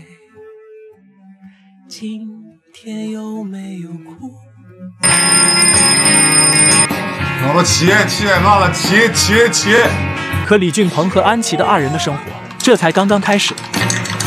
女人新婚第一天下班回家，丈夫就做了一桌子好吃的饭菜，这让妻子觉得很幸福。可是这一切只不过是女人的幻想。她回到家看到的就只有正在打游戏的老公，气的女人直接扰乱老公的游戏，还责怪老公每天下班比她早一个小时，就不知道顺道买点菜，提前烧个饭做个汤，让自己回家有口热乎的饭吃。李俊鹏却说客观条件不允许，自己不会做呀。安琪说：“也不知道是谁说的，结婚之前自己一定会做饭，好好照顾他。”李俊鹏说：“安琪还承诺过婚后让自己打游戏，他来做饭、洗衣服呢。”二人斗起嘴来。就在这时，李俊鹏接到了岳母的电话，让二人回家吃饭。两个人如饿死鬼一样疯狂的吃着饭。李俊鹏边吃边感谢岳母的电话如及时雨，不然自己要被安琪的怒火给烧死。母亲让女儿不要为了这些小事吵架，伤了感情。父亲提议以后周末他们就来这里吃饭，自己再多做两天的菜让他们带回去，剩下的三天就让李俊鹏经过他父亲的学校食堂，将他平时不吃的那份菜打回家吃。反正他父亲每天都吃后妈做的饭，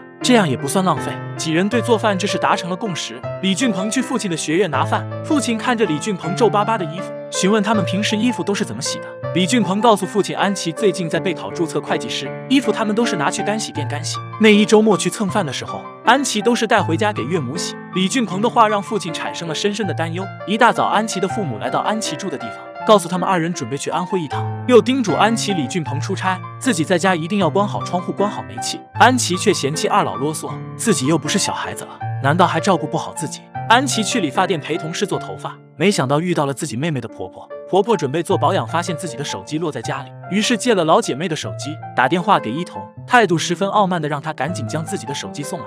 一旁的老姐妹觉得阿敏太凶，阿敏和他们谈笑间表示出对伊童的不满。一个弄堂小户人家寡母带大的孩子，也就只有长相还过得去。老姐妹让她对儿媳妇的要求不要太高，说句不好听的，她的儿子也是个不务正业的，每天就打打牌、打打台球什么的。可是阿敏却觉得，就算是这样，一同能傍上他们家，也是祖上冒了青烟。一旁的安琪听得心里很不是滋味。一个小时之后，一同气喘吁吁的送来了手机，可是婆婆却嫌弃她做事磨蹭。一同告诉婆婆路上堵车，婆婆却说她在找借口。一旁的老姐妹赶忙替一同说话，儿媳妇能够做成这样已经不错了。婆婆打开手机，发现手机已经没电了，责怪儿媳妇脑子不够灵活，拿个没充电的手机给她，让她怎么用？护短的安琪气得不行。直接将阿敏的手机扔了。阿敏质问安琪是谁，安琪告诉他自己是伊童的姐姐，他已经忍她很久了。没想到阿敏将安琪一起骂，说他们不是一家人不进一家门，小弄堂出来的穷人就是没规矩。安琪气得直接将水泼到他的脸上，可是他却被伊童拉到外面。他不光不感谢姐姐的帮忙，反而责怪姐姐多管闲事。自己的婆婆再厉害也有蹬腿的一天，只要自己从媳妇熬成婆，这家里的财产还不是全部都是她的。安琪劝她别傻了，别没等婆婆蹬腿。她就把你先给蹬了。可是见钱眼开的伊童却听不进去安琪的话，自己还要回去为她的无理取闹善后。伊童的母亲前来和安琪的父母哭诉，女儿为了置换大别墅，居然偷偷的将自己的房子卖了，还没有在别墅的产证上写自己的名字，还连同女婿让自己住在他们别墅的保姆房，弄得自己现在彻彻底底成了一个老妈子。晚上回家，秦玉萍在家洗衣服，没想到被女婿责怪这是名牌，不能用搓衣板，二人争吵了起来。听到动静的伊童让母亲小点声，别等会吵到了邻居。秦玉萍大骂女婿是混蛋，骂女儿是吃里扒外的白眼狼。别人家里请个保姆每个月还四五千，你们却对我天天呼来喝去，他受不了这样的日子。秦玉萍气得离开别墅。安琪晚上在家里加班，可是她却听到了诡异的女人哭声。丈夫出差，妻子独自在家，可是她却听到屋外有女人诡异的哭声，这可把安琪给吓坏了。她立刻打电话给自己的丈夫求救，告诉丈夫家里闹鬼了。李俊鹏让安琪冷静，关好房门，千万别出去。他打电话报了警，又打电话给了后妈吴飞。可是公公恰巧去参加医学讲座，为了媳妇的安全，吴飞拿着武器立刻前往安琪的住处，这可把奶奶给吓得不轻。警官来到安琪家的走廊，看到了安琪的舅妈。舅妈看到安琪也是止不住的流泪。原来舅妈受不了女婿和女儿对自己的态度，和小夫妻俩赌气跑了出来。第二天，众人来到安琪的家里，舅妈告诉众人，女儿现在狼心狗肺，为了钱居然向着自己的老公，自己受不了便跑了出来。可是出来之后，她就傻眼了，女儿卖了自己的房子换了别墅，她无家可归，只能跑来找安琪。以前她只觉得女儿是贪慕虚荣，没想到现在居然六亲不认。安琪母亲想接舅妈去自己那里。舅妈却说不用麻烦了，自己去招待所住。李俊鹏的后妈却说招待所不安全，什么人都有，不如让舅妈住在安琪这里。众人都觉得有点诧异，舅妈就这样暂时居住在李俊鹏和安琪的家里。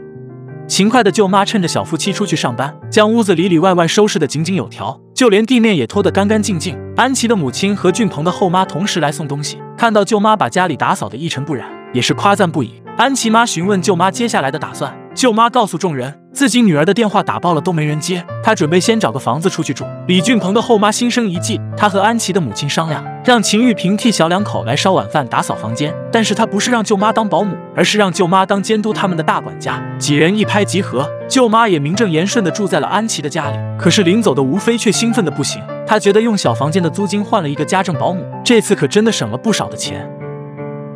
舅妈得到吴飞的肯定，拿着鸡毛当起了令箭。她开始教李俊鹏做饭，又让安琪将内衣和衣服分开洗。周末还不敲门就闯进二人的卧室，让二人早点起床，养成良好的作息。可舅妈也改不了贪小便宜的毛病。李俊鹏单位发了一箱橙子回来，等他想起来的时候，冰箱里只剩一个了。舅妈看他们每天也不吃，就自己每天吃两个，拿来补充维生素了。李俊鹏准备去超市买东西，舅妈让他买五包小核桃回来，自己准备送人。李俊鹏客气的说自己帮他买回来，就当是孝敬舅妈了。可舅妈却相当有原则的告诉他，亲兄弟都要明算账的。可李俊鹏买完核桃给舅妈的时候，舅妈却好像忘了这件事一样，这让李俊鹏垫付的钱也打了水漂。这天，舅妈将二人拉到客厅准备开会。李俊鹏的后妈准备邀请安琪一家周末来家里吃饭。舅妈觉得这不仅仅是一次家庭聚餐，而是对她这个舅妈工作的检查。她让二人到时候一定要好好表现。后妈让儿媳的舅妈来家里当总管，实际是想让舅妈当免费的保姆。她觉得用次卧租金换个居家保姆十分划算。可是舅妈却教会李俊鹏做饭，还教会安琪做家务。周末两个亲家一起来家里吃饭。舅妈让奶奶尝尝西红柿炒蛋，奶奶尝了之后直夸好吃。舅妈自我邀功的告诉奶奶，这西红柿炒蛋和炒青菜都是李俊鹏自己做的。可是后妈和奶奶却变了脸色，这个平时含在嘴里怕化了的孙子，居然被女方的亲戚带着学做菜。奶奶告诉舅妈，他们虽然住在上海，可是祖籍在山东。山东的老规矩，男人是不进厨房的，因为他们家有一个说法。叫男做女工发财不凶，男人进了厨房家里就发不起来财了。他就没让儿子进过厨房，所以儿子才能当上医学教授。舅妈觉得奶奶是迷信，可是后妈却觉得舅妈身为一个外人，不尊重奶奶的想法是不对的。舅妈生起气来，当初你请我来当免费保姆的时候，怎么没考虑我是一个外人，还封我当什么大内总管？现在我培养了李俊鹏和安琪独立的能力，你却不高兴了，你就是见不得别人一点好。后妈却说这个房子是他们家的。奶奶的话就是规矩，几人争吵了起来。李俊鹏也受不了了，让几人住嘴。当初自己和安琪什么事都不会做的时候，他们就说个不停。现在会做了，他们还是不满意，真的不知道他们想要怎么样。原本好好吃饭的氛围，因为这件事给打破了。回去的路上，奶奶不停的念叨这件事，可是李建国却觉得舅妈做的挺好的。儿子衣来张手饭来张口的习惯，却是需要调教调教。只有安琪的舅妈出面调教最合适不过。李俊鹏和安琪也苦恼要不要将舅妈安排出去住。岳父岳母带着他们来到小区的楼下，将舅妈买核桃的钱给了李俊鹏。他告诉女婿，舅妈性格大大咧咧的，但是没有坏心眼。还和他们诉说起当年一段盘根错节的往事。舅妈当初和方慧茹自小一块长大，那时他们还是邻居。舅妈的父亲还是个小官，时常接济安琪他们一家。可在文革期间之后，舅妈不但失去了所有的亲人，还被发放到了安徽农村。后来和舅舅在一起没几年，舅舅突然因病撒手人寰，留下年幼的依童和舅妈相依为命。他便一个人拉扯着依童长大。可是现在依童居然为了房子六亲不认。听了舅妈的遭遇，李俊鹏的心顿时软了下来。对这样一个女人。他根本无法开口说出任何要他离开的话。安琪的同事艾米最近工作老是出错，在安琪不停的追问下，才知道艾米的母亲得了胃癌来上海治病的事情。好心的安琪准备帮她问问自己医学院的公公认不认识治疗胃病的专家，这让艾米感动万分。可第二天，安琪从老板的办公室出来，得知刚来不久的安琪要被领导派去日本进修，艾米心里开始不平衡起来。自己已经在公司干了五年，凭什么这个机会给了安琪？在他的眼里，安琪简直是一帆风顺，而自己却只能为了在上海这个大都市生存下去而苦苦挣扎。心有不甘的艾米萌生了一个取而代之的想法，她趁着安琪去上厕所，偷偷的将安琪要给领导看的报表给永久删除了。这个女人嫉妒同事可以去日本进修，趁着同事去上厕所，偷偷的将她要给领导的资料给删除了，想要让女人出错，自己好取而代之。回来的安琪发现自己报表不翼而飞，急得差点哭了出来。晚上回家的李俊鹏帮安琪恢复文件，他准备偷偷的亲安琪一口，没想到被安琪一把推过去，亲在了岳父的脸上。看着自己被删除的文件被丈夫恢复，安琪满眼的佩服。岳父对女婿也是刮目相看，舅妈看着和谐的一家人，突然觉得有点落寞。晚上躺在床上的舅妈看着已经很久没有收到女儿来电的手机，突然心生悲凉。她觉得安琪的眼光真的很不错，居然找了李俊鹏这样的经济适用男，比自己女儿那个势利眼的富二代女婿强多了。她只恨自己当初瞎了眼，最后落得一个被扫地出门的下场。舅妈积郁成疾，没想到第二天发起了高烧。安琪照顾着舅妈，李俊鹏做了两个菜，可是安琪吃了几口，觉得难以下咽。安琪的爸妈和李俊鹏的父母得知舅妈生病，都不约而同的来到家里，并且带了自己做的饭，还叮嘱舅妈一定要好好养病，家里还要靠他这个大管家支撑。后妈看着李俊鹏做的黑乎乎的糖醋排骨，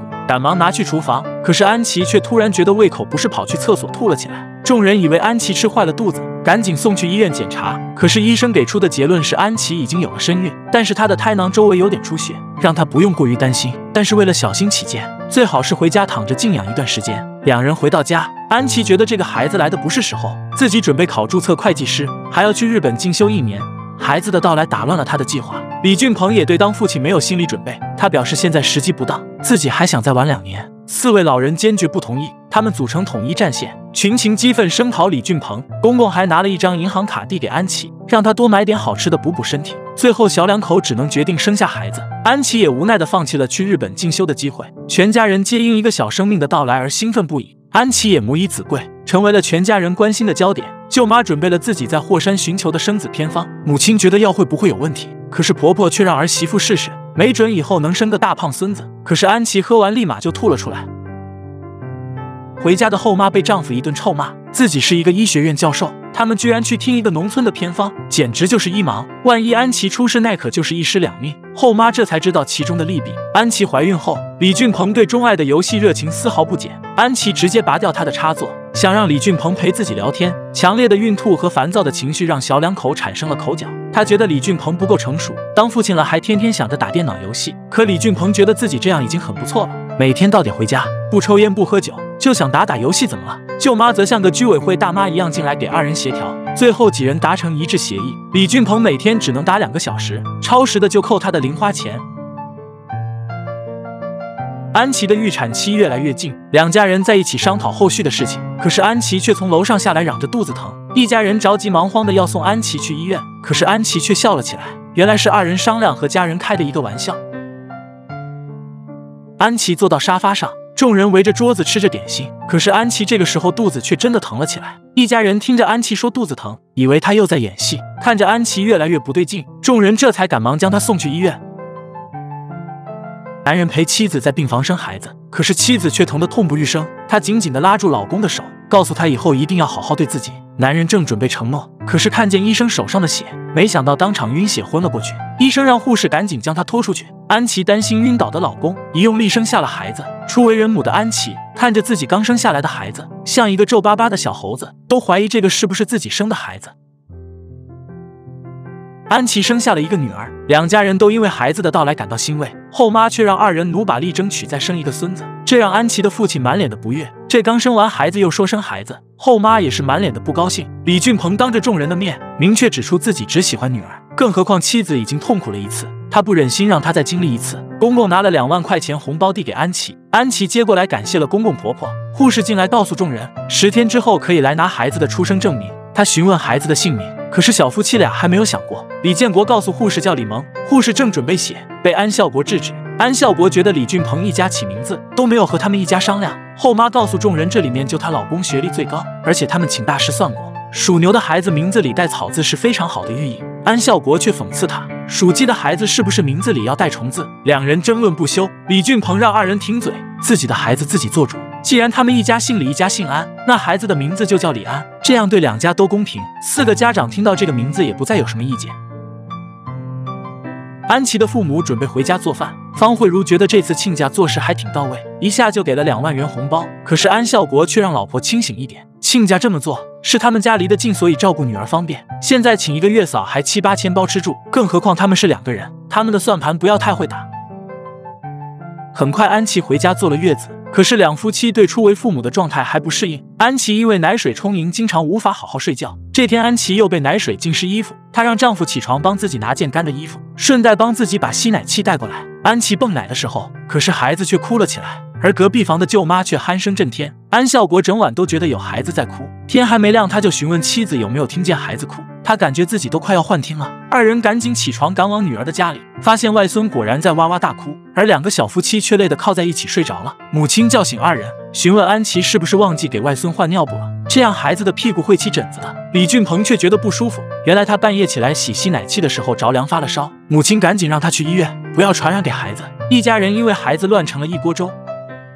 小护士给病人输液，没有确认好患者的姓名，导致患者青霉素过敏休克。护士长告诉小护士，医院的处罚结果停职三个月观察，后续表现好的话才可以重新上岗。可是嫁给富二代的伊童却嚣张的和护士长提出了辞职。我不干了！一彤，你给我站住！你什么态度你？回家之后，于刚责怪妻子不该这么冲动，可是伊童却说现在很多女人做全职太太，只有没有本事的男人。才让老婆出去工作，更何况他们家这么有钱。一句话堵得鱼缸无法还嘴。婆婆得知儿媳辞职也十分生气，当初让她过门就是因为她是编制内的护士，以后自己生病去医院还可以走个后门。她倒好不打招呼就辞掉了工作，摆明了就想自己儿子养她。儿子告诉母亲，就当家里多了一个当保姆的老婆。可是房贷要到期了，现在房贷的压力全部落在了自己的头上，母亲只能给了儿子一张银行卡。可是很快，二人花光了银行卡里的钱，眼看着房屋贷款没有着落，于刚再次找到母亲，母亲却怂恿儿子去将儿媳妇的母亲接回来，这样既可以有一个洗衣做饭的老妈子，又可以让他帮忙还贷款。于刚回家和妻子商量将岳母接回来，一彤一眼就看出来是婆婆的主意，可是于刚却告诉他，等母亲走了，家里的一切都是自己这个独生子的，我的不就是你的吗？只要你顺着我妈的意思来，还愁日后没有好日子过吗？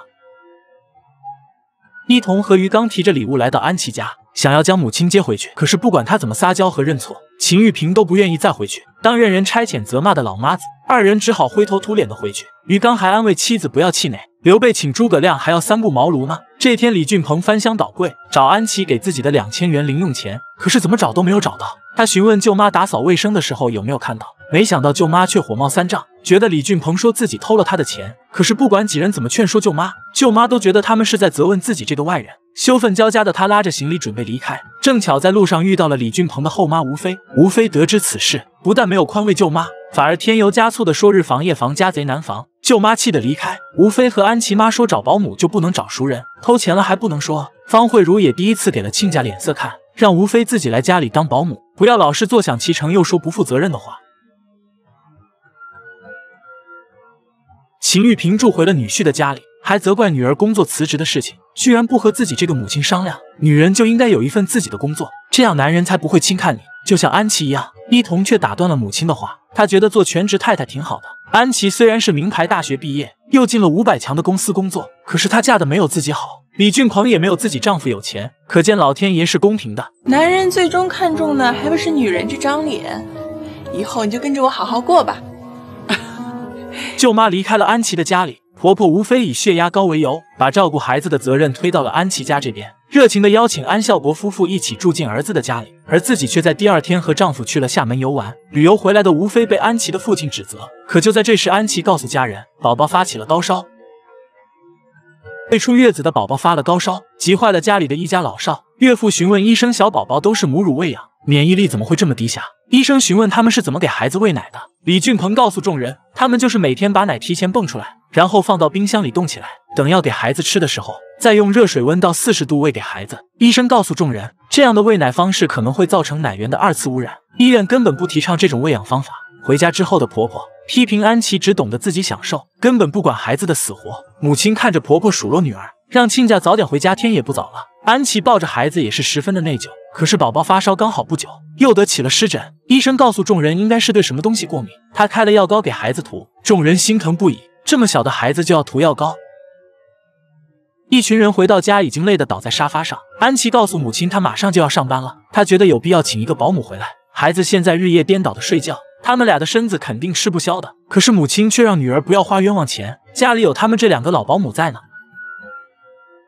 这天，婆婆和安琪的母亲一起带孩子，婆婆让亲家调整宝宝的睡姿，这样睡出来的扁头才好看。安孝国不让吴飞瞎胡闹，二人争执了起来。方慧茹想要劝阻二人，没想到被吴飞一推，直接坐在凳子上，头痛和剧烈的晕眩感让她十分痛苦。医院里医生责怪众人，方慧茹的收缩压已经到了两百，而且病人的睡眠质量很差。他提醒众人，如果不好好调养，很容易脑溢血中风。方慧茹不堪重负住了院。李俊鹏的父母听闻亲家住了院，赶忙来照顾自己的孙子。可是几天带下来，他才知道孙子原来这么难带。他和安孝国承认了错误，女儿已经长大，他也早已忘了那时带孩子的辛苦。李建国也同意请一个保姆回来照顾，费用由他们男方来出。就这样，安琪和李俊鹏来到了保姆市场，准备选一个合适的保姆回去。可是当二人面试起保姆的时候，才发现如今的保姆市场鱼龙混杂。形形色色的保姆提出的怪异要求，让二人大开眼界。年轻的保姆询问安琪家里有没有电脑和液晶电视，还询问洗衣机带不带烘干功能。如果没有的话，自己拧干衣服会很费劲。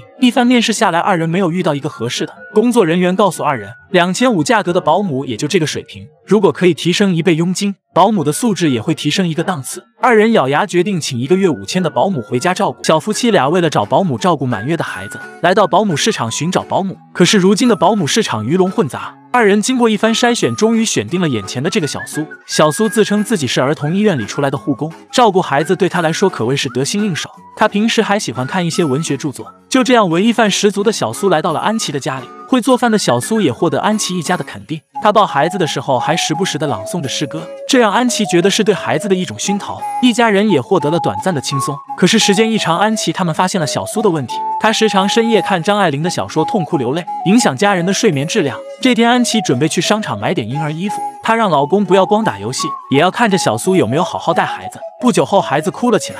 李俊鹏边打游戏边喊着小苏，可是小苏看书看得忘乎所以，根本没有听到李俊鹏的呼喊。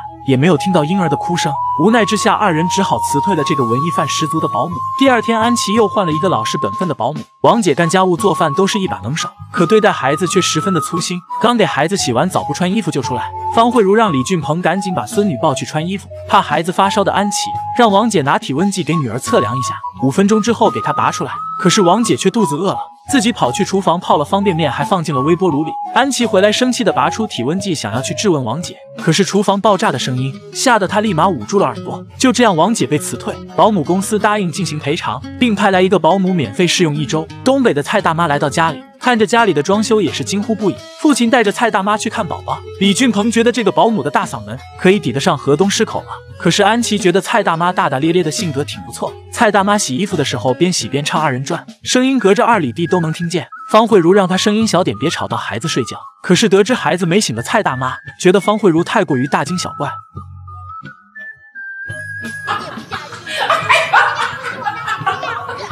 蔡大妈的分贝之大，让一家人实在受不了。看电视吃着瓜子，被逗得哈哈大笑，那声音简直都能直接击穿耳膜。安琪妈觉得自己的血压都快上来了，李俊鹏只好自己去保姆市场，让工作人员换一个没有东北口音、分贝又小的保姆来家里。就这样，安静的小徐来到了安琪的家里。小徐做西红柿炒蛋的时候放了糖，安孝国进来提醒他下次做菜的时候不要放糖，因为女儿在孕期得过妊娠期糖尿病，所以他们家做菜都不放糖了。看着小徐满头是汗水，安孝国拿出纸巾想要递给他，可是小徐却被吓了一跳，得知安孝国只是想给自己纸巾，才松了一口气。可是生性多疑的他却处处提防着安孝国。小保姆来家里第一天做饭，雇主的父亲看他大汗淋漓，递了纸巾给小保姆。小保姆却觉得男人想对她图谋不轨，吃饭的时候都处处的提防着她。晚上，小保姆干完活去厕所洗澡，没有将门给锁好，而着急方便的安孝国直接闯了进来。就这样，几人去了派出所。小保姆一口咬定安孝国要对自己图谋不轨，还要将他告上法庭。保姆介绍所的工作人员却说私了算了。几人正争吵间，李俊鹏的后妈来到派出所，告诉警官他们今晚都不走了，在这里接受调查，明天一早就找新闻媒体来采访。他还告诉小保姆，他和亲家母身体都不好，万一情绪不稳定，还有可能倒地不起，到时候也没有时间带孩子了，就只能把孩子交给警官帮忙带了。他让小保姆不要再编故事了，他这种人自己一眼就看穿了，他就是想要敲诈，那自己就跟着他一起学。二人被后妈的一顿反向操作弄傻了，警官也询问保姆要不要备案，怕事情闹大的小保姆和工作人员却灰溜溜的跑了。安琪也忍不住给婆婆竖起了大拇指。回家的婆婆如同打了胜仗一样。安琪妈也感叹现在的保姆市场太乱了，他们也有点想念舅妈在的时候。可舅妈自从觉得被怀疑偷了家里的钱，回到女婿的家里，也是没日没夜的做起了老妈子。女儿辞职在家当起了全职太太，整天和不务正业的女婿在家打游戏。而伊彤也因为迟迟无法怀孕，受到婆婆的训斥，想着让女儿怀孕成了舅妈的头等大事。可他们算好日子，验孕棒上还是没有反应。舅妈想出去弄个偏方，女儿却说自己就是卫校毕业的，让母亲不要迷信。这让舅妈感到十分着急。这天，伊彤正在看电视，女婿于刚进来责怪岳母居然又忘记还贷款。二人对着舅妈就是一顿指责，伤心欲绝的秦玉萍要求分割房产，于刚却冷笑说房子上根本没有秦玉萍的名字。舅妈没想到卖了自己的房子买了这个别墅，还着按揭的别墅居然没有自己的名字。于刚威胁一彤，如果再和岳母一起居住，就干脆离婚。如今没有丝毫收入的一彤，为了挽救婚姻，反而让母亲出去住。秦玉萍质问女儿把自己唯一的房子卖了，她想让自己住哪？而李俊鹏在床底下捡东西的时候，发现了自己好久不见的裤子。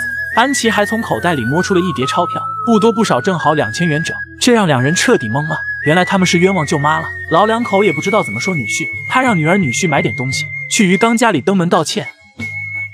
男人在床底下找东西，发现了自己丢失好久的裤子，裤子里居然还有两千元现金。半个月之前，自己找不到这两千块钱，询问家里当保姆的舅妈有没有看见。舅妈以为他们怀疑自己偷钱，气的离开。得知冤枉舅妈的二人来到舅妈女婿的家里，想给舅妈郑重赔礼道歉，可是舅妈却被他们两个赶了出来。无处容身的舅妈想要自力更生，跑去了餐馆当起了洗碗工。因为打碎了碗，受到老板的责难。恰巧李俊鹏和同事在餐厅吃饭，撞见了受人欺负的舅妈。李俊鹏向舅妈道歉，自己的两千元已经找到了，在床底下裤子的口袋里。舅妈不想听他的解释，准备离开，可是他却突然眩晕起来。一家人来医院看望舅妈，李俊鹏告诉二人，舅妈是操劳过度加上感冒，所以才会身体不适。安琪也向舅妈诚恳的道歉，听着一家人真挚的歉意，让舅妈为之动容。舅妈回到了安琪的家里，奶奶作为一家之长前来给舅妈道歉，苦口婆心的告诉舅妈，一家人在一起难免会发生摩擦，舌头有时候还会和牙齿打架呢。奶奶的话让舅妈也是感动不已，一家人又恢复了和好如初的状态。李俊鹏帮舅妈找了律师，律师得知舅妈当时给女儿女婿买别墅付首付的时候，没有留下字据证明，舅妈每个月的商贷还款也是直接打到女儿的账户上去。律师直言这场官司很难胜诉，他只能奉劝舅妈赶紧将自己的工资卡要回来。安琪和俊鹏带着舅妈一起去讨要工资卡，可是女婿却将舅妈的东西全部拿了出来，舅妈伤心不已，自己含辛茹苦居然养了一个白眼狼。安琪让一彤把舅妈的银行卡交出来。可是，一彤却让安琪不要多管闲事。就在这时，于刚找来的地痞流氓将李俊鹏给打了一顿。安琪让他们住手，不然自己就报警了。一彤也和老公撒娇，让他算了。于刚这才将岳母的银行卡丢到地上。临走前，安琪告诉二人，他们这样会遭报应的。回家之后，后妈责怪李俊鹏居然去于刚家给舅妈出头，对面可是小流氓，他们就是普通老百姓，这不就是拿鸡蛋碰石头吗？舅妈听完心里很不是滋味，只能给李俊鹏的后妈不停的道歉。一彤对自己将母亲赶走的事也非常的愧疚，觉得她和丈夫这样肯定会遭报应的。可是于刚却说报应早就来了，她的肚子一直大不起来，这难道就不是报应吗？一句话说的，一彤也是哑口无言。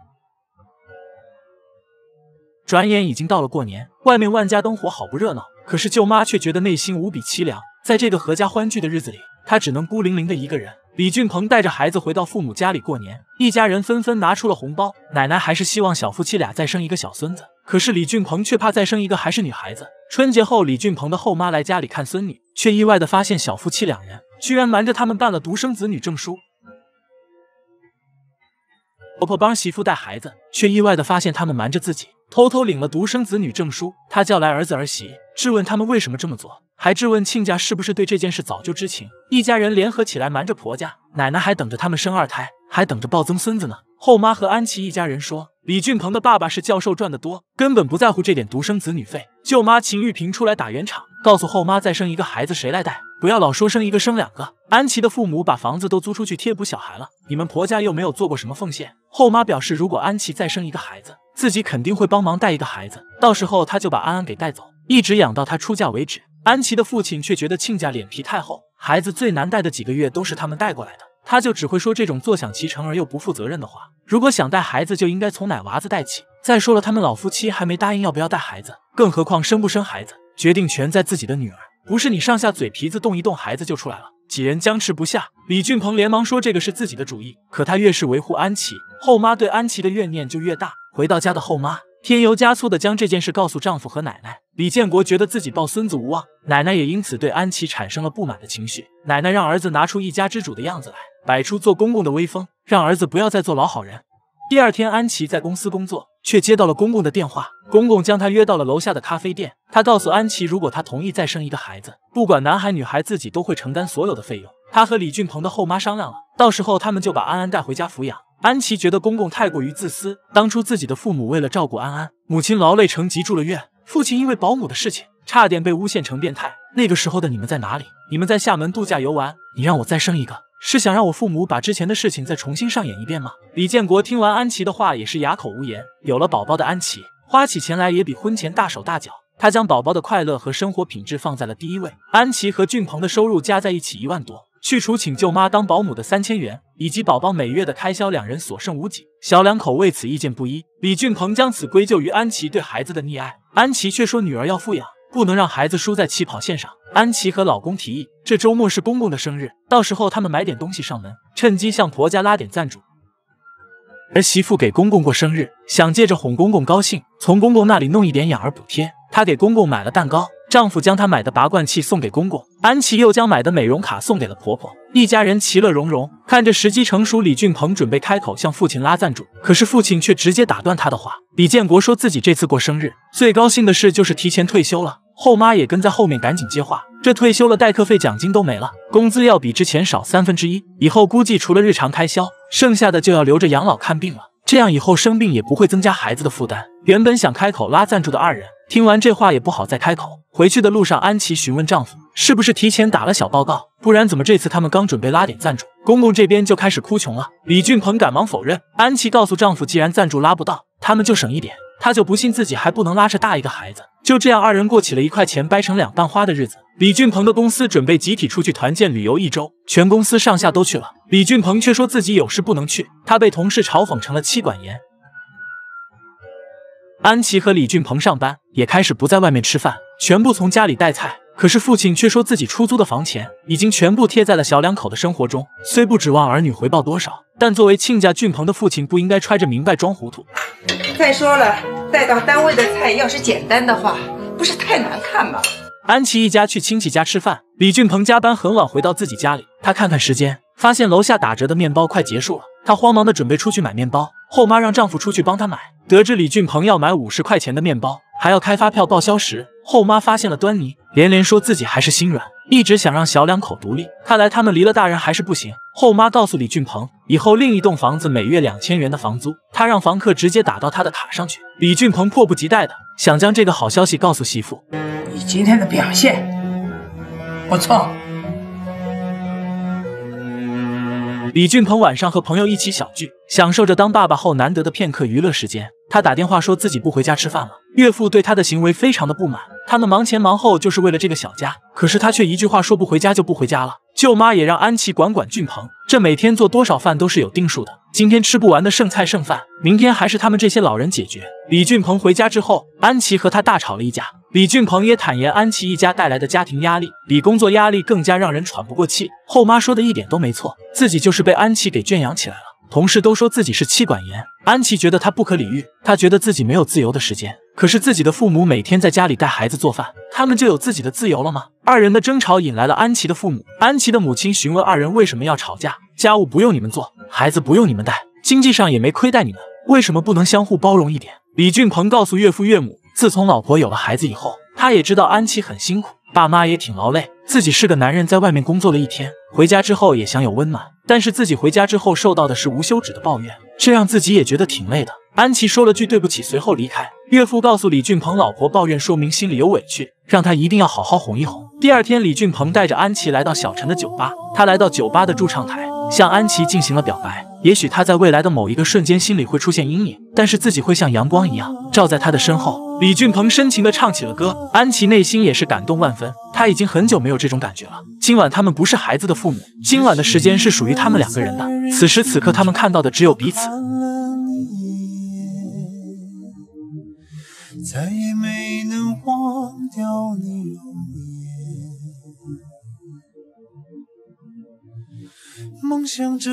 安琪大声的对着俊鹏说出了“我爱你”，李俊鹏也紧紧的抱住安琪，二人和好如初，对婚姻的含义也有了更深的认识。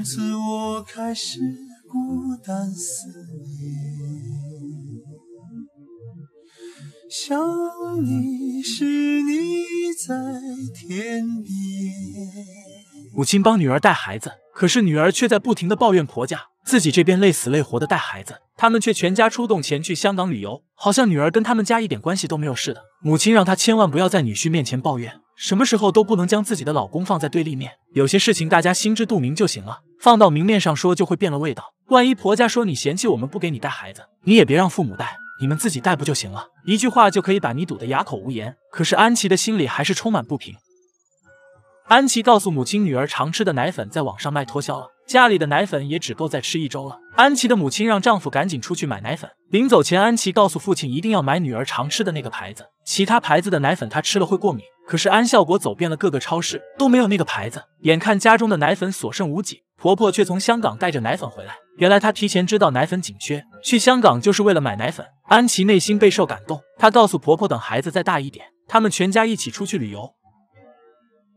安孝国偷偷带着妻子出来吃饭，看着丈夫点了不少吃的，方慧茹也是惊讶不已。安孝国告诉妻子，他们老房子的居委会打电话过来，告诉他们的老房子要拆迁了。安琪父亲想将女婿的户口迁过来，可是又担心万一李俊鹏和安琪离婚，婆家人也会分到大部分的份额。安琪妈觉得这件事应该慎重考虑，实在不行，到时候便去公证处公证。而李俊鹏的父亲在家看报纸，也看到了安琪家准备拆迁的消息，后妈也是高兴不已。他把小两口喊到家里，给孙女买了好几件名牌衣服，还给了安琪两张银行卡，让她以后没事带孩子出门都打车去，多给孩子买点吃的穿的。后妈开门见山的告诉安琪，她知道安琪的老家现在准备拆迁，她有一个想法，就是将李俊鹏的户口迁到安琪家，这样按人头算，还能多出几十万的拆迁费。安琪决定回家先和父母商量，可是母亲却告诉她，这次国家可能采用数砖头的政策，女婿上不上户口可能都不会有多大的区别。后妈得知这是亲自上门，她告诉众人自己已经托了关系，可以在安琪家的户口本上再加几个人，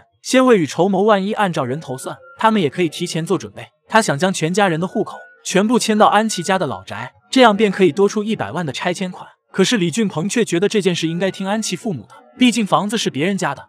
就是你看俊鹏的户口迁到我们家吧，起码他是老丈人和女婿的关系，这个勉勉强强说得过去。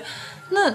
你和俊鹏他爸签进来，这这人家派出所怎么写呀？连旁系都算不上吗？安琪也说今天父亲不在，他们几个人也不好敲定下来。后妈却满脸的不悦，告诉他们那自己就先回去等通知。临走时还抱怨自己这么做都是为了他们好。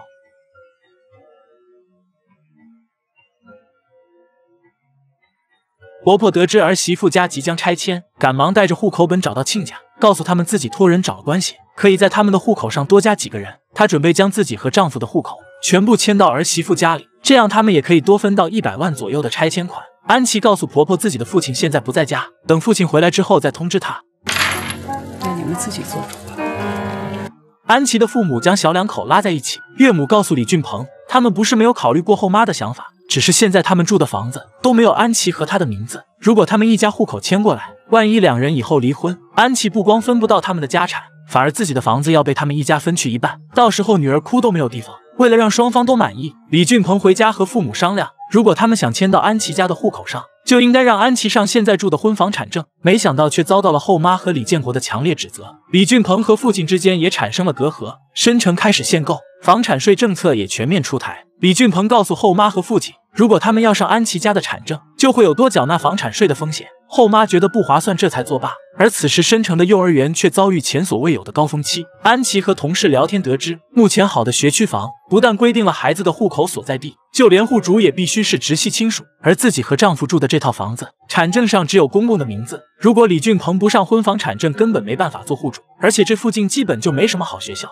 女儿现在的户口又在父母的老宅，正对着的是一家不出名的学校。安琪决定一次性解决学区房问题和产证问题。安琪家的老宅准备拆迁，他们邀请亲家一家吃饭。安琪的母亲告诉后妈，这次拆迁是按面积算的。折算下来大概一百四十万人民币。方慧茹为了解决外孙女的入学问题，告诉亲家他们会将全部的拆迁款贴给小两口买学区房，房产证上就写小两口的名字。她希望亲家也能出钱合伙购买，但是前提是他们家必须不少于女方的款项。吴非和丈夫说起了悄悄话，李建国告诉众人，原本闵行的那套房子自己是要留给吴非的，但是吴非识大体，为了孙女，愿意去中介挂牌卖掉房子。众人也对这个结果十分满意。安琪一家人看了不少学区房，最后选定了一套价值二百八十万的三室两厅的房子。现在就等着婆婆闵行的房子卖掉之后直接买房。可是婆婆那里却迟迟没有消息，会不会是你婆婆又搞什么鬼？母亲和婆婆商量，给外孙女购买学区房。母亲准备将拆迁的一百四十万拿出来，婆婆也满口答应，决定将闵行的小户型卖掉，支持二人买学区房。可是她却在中介那里故意提高二十万房价，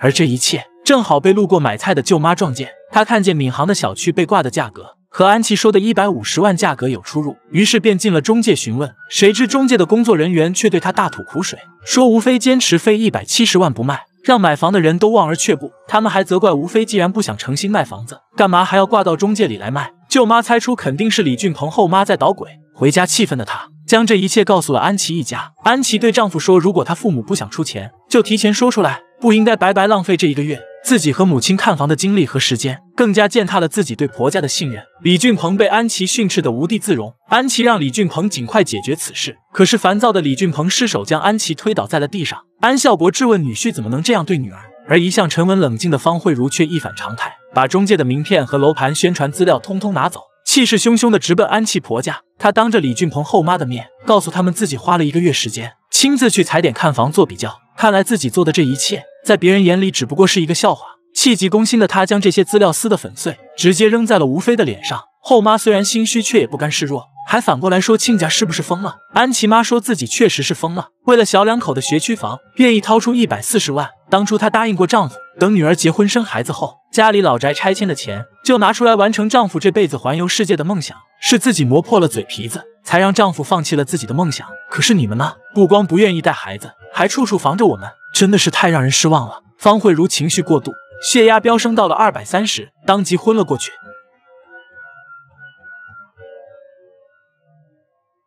安琪推开丈夫，自己送母亲去了医院。望着年迈的母亲微弱的躺在病床上，她的内心犹如千万根针扎似的难受。公婆为了弥补自己犯下的过错，主动提出到医院照顾，却被安琪拒绝。安琪将几人叫到病房外的空地，告诉他们，自从自己生下孩子，父母就围着自己和孩子连轴转，他们全心全意的付出，而婆家居然想方设法的防着他们。自己身为女儿，不能让父母享福，反而还要让他们跟着自己吃苦。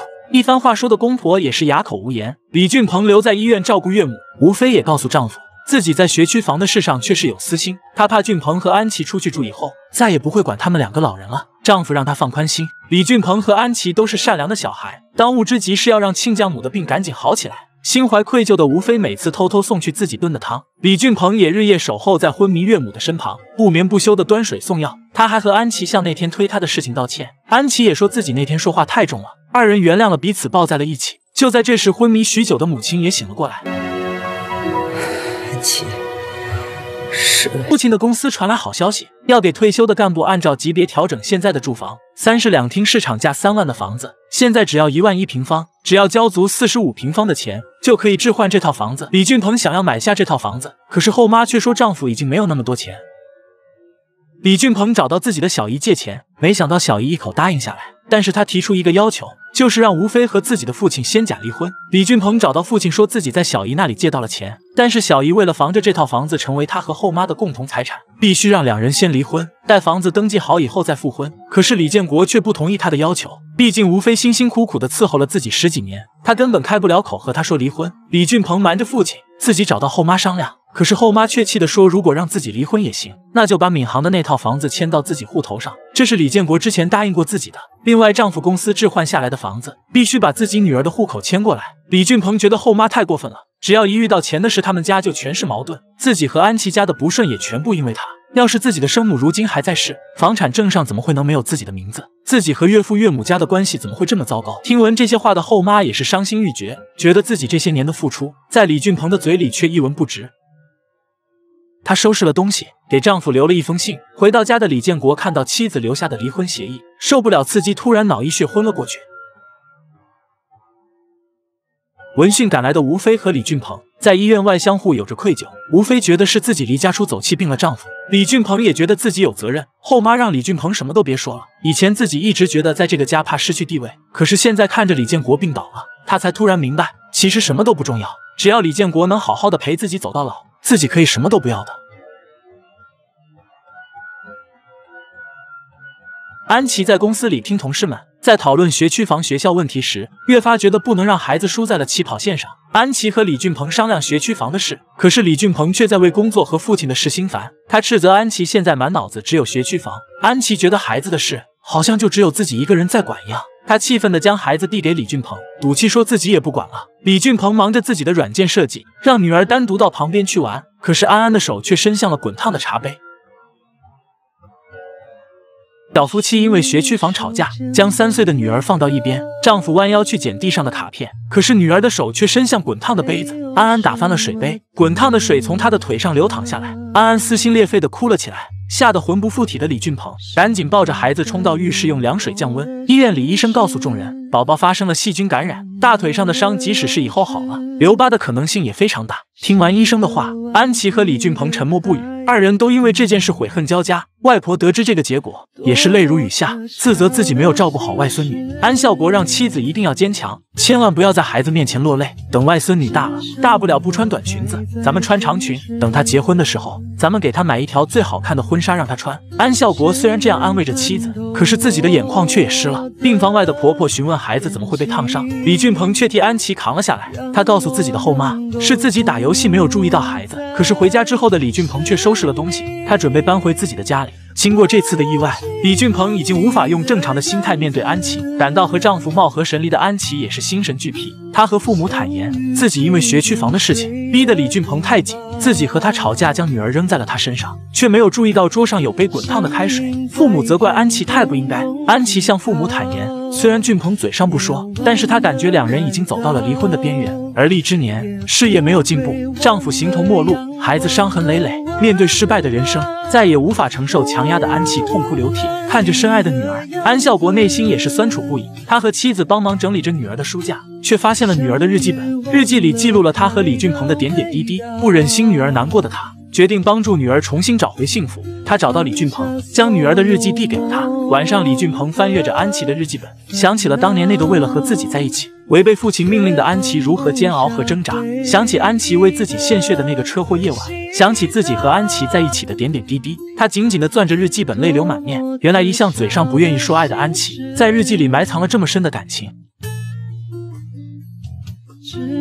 李俊鹏回到家里，安琪正在哄着安安睡觉。安安看见了李俊鹏回来，叫了一声爸爸，随后转过身去。安琪以为女儿也不理自己了，自顾自地向女儿哭诉：“她的爸爸已经不要她了，她不能不理妈妈。妈妈已经不要我了，你们可以不要我了。”李俊鹏出现在安琪的身后，告诉她自己从来没有不要她，因为自己的血是他给的，命也是他给的。他的这辈子就是安琪的。听着孩子迷糊中喊着爸爸妈妈，安琪和李俊鹏默默流着眼泪，悔恨交加的抱在了一起。安琪和李俊鹏经过此次劫难，更加懂得珍惜当下。李俊鹏的父亲在后妈的照顾下日渐好转，看着后妈和父亲感情也日加深厚，这让李俊鹏也觉得欣慰不已。安琪也接到了电话，他考的注册会计师也终于过了，而李俊鹏研发的游戏被一家公司成功收购，他现在已经变成了百万富翁。他将安琪叫出来，告诉他这个好消息，可安琪却觉得李俊鹏在逗他。李俊鹏拿出银行卡，告诉他钱就在这里，密码是他的生日。安琪和李俊鹏的日子一天比一天好，可是安琪的表妹依彤却被查出身体有问题，原来她患上了多囊卵巢综合症。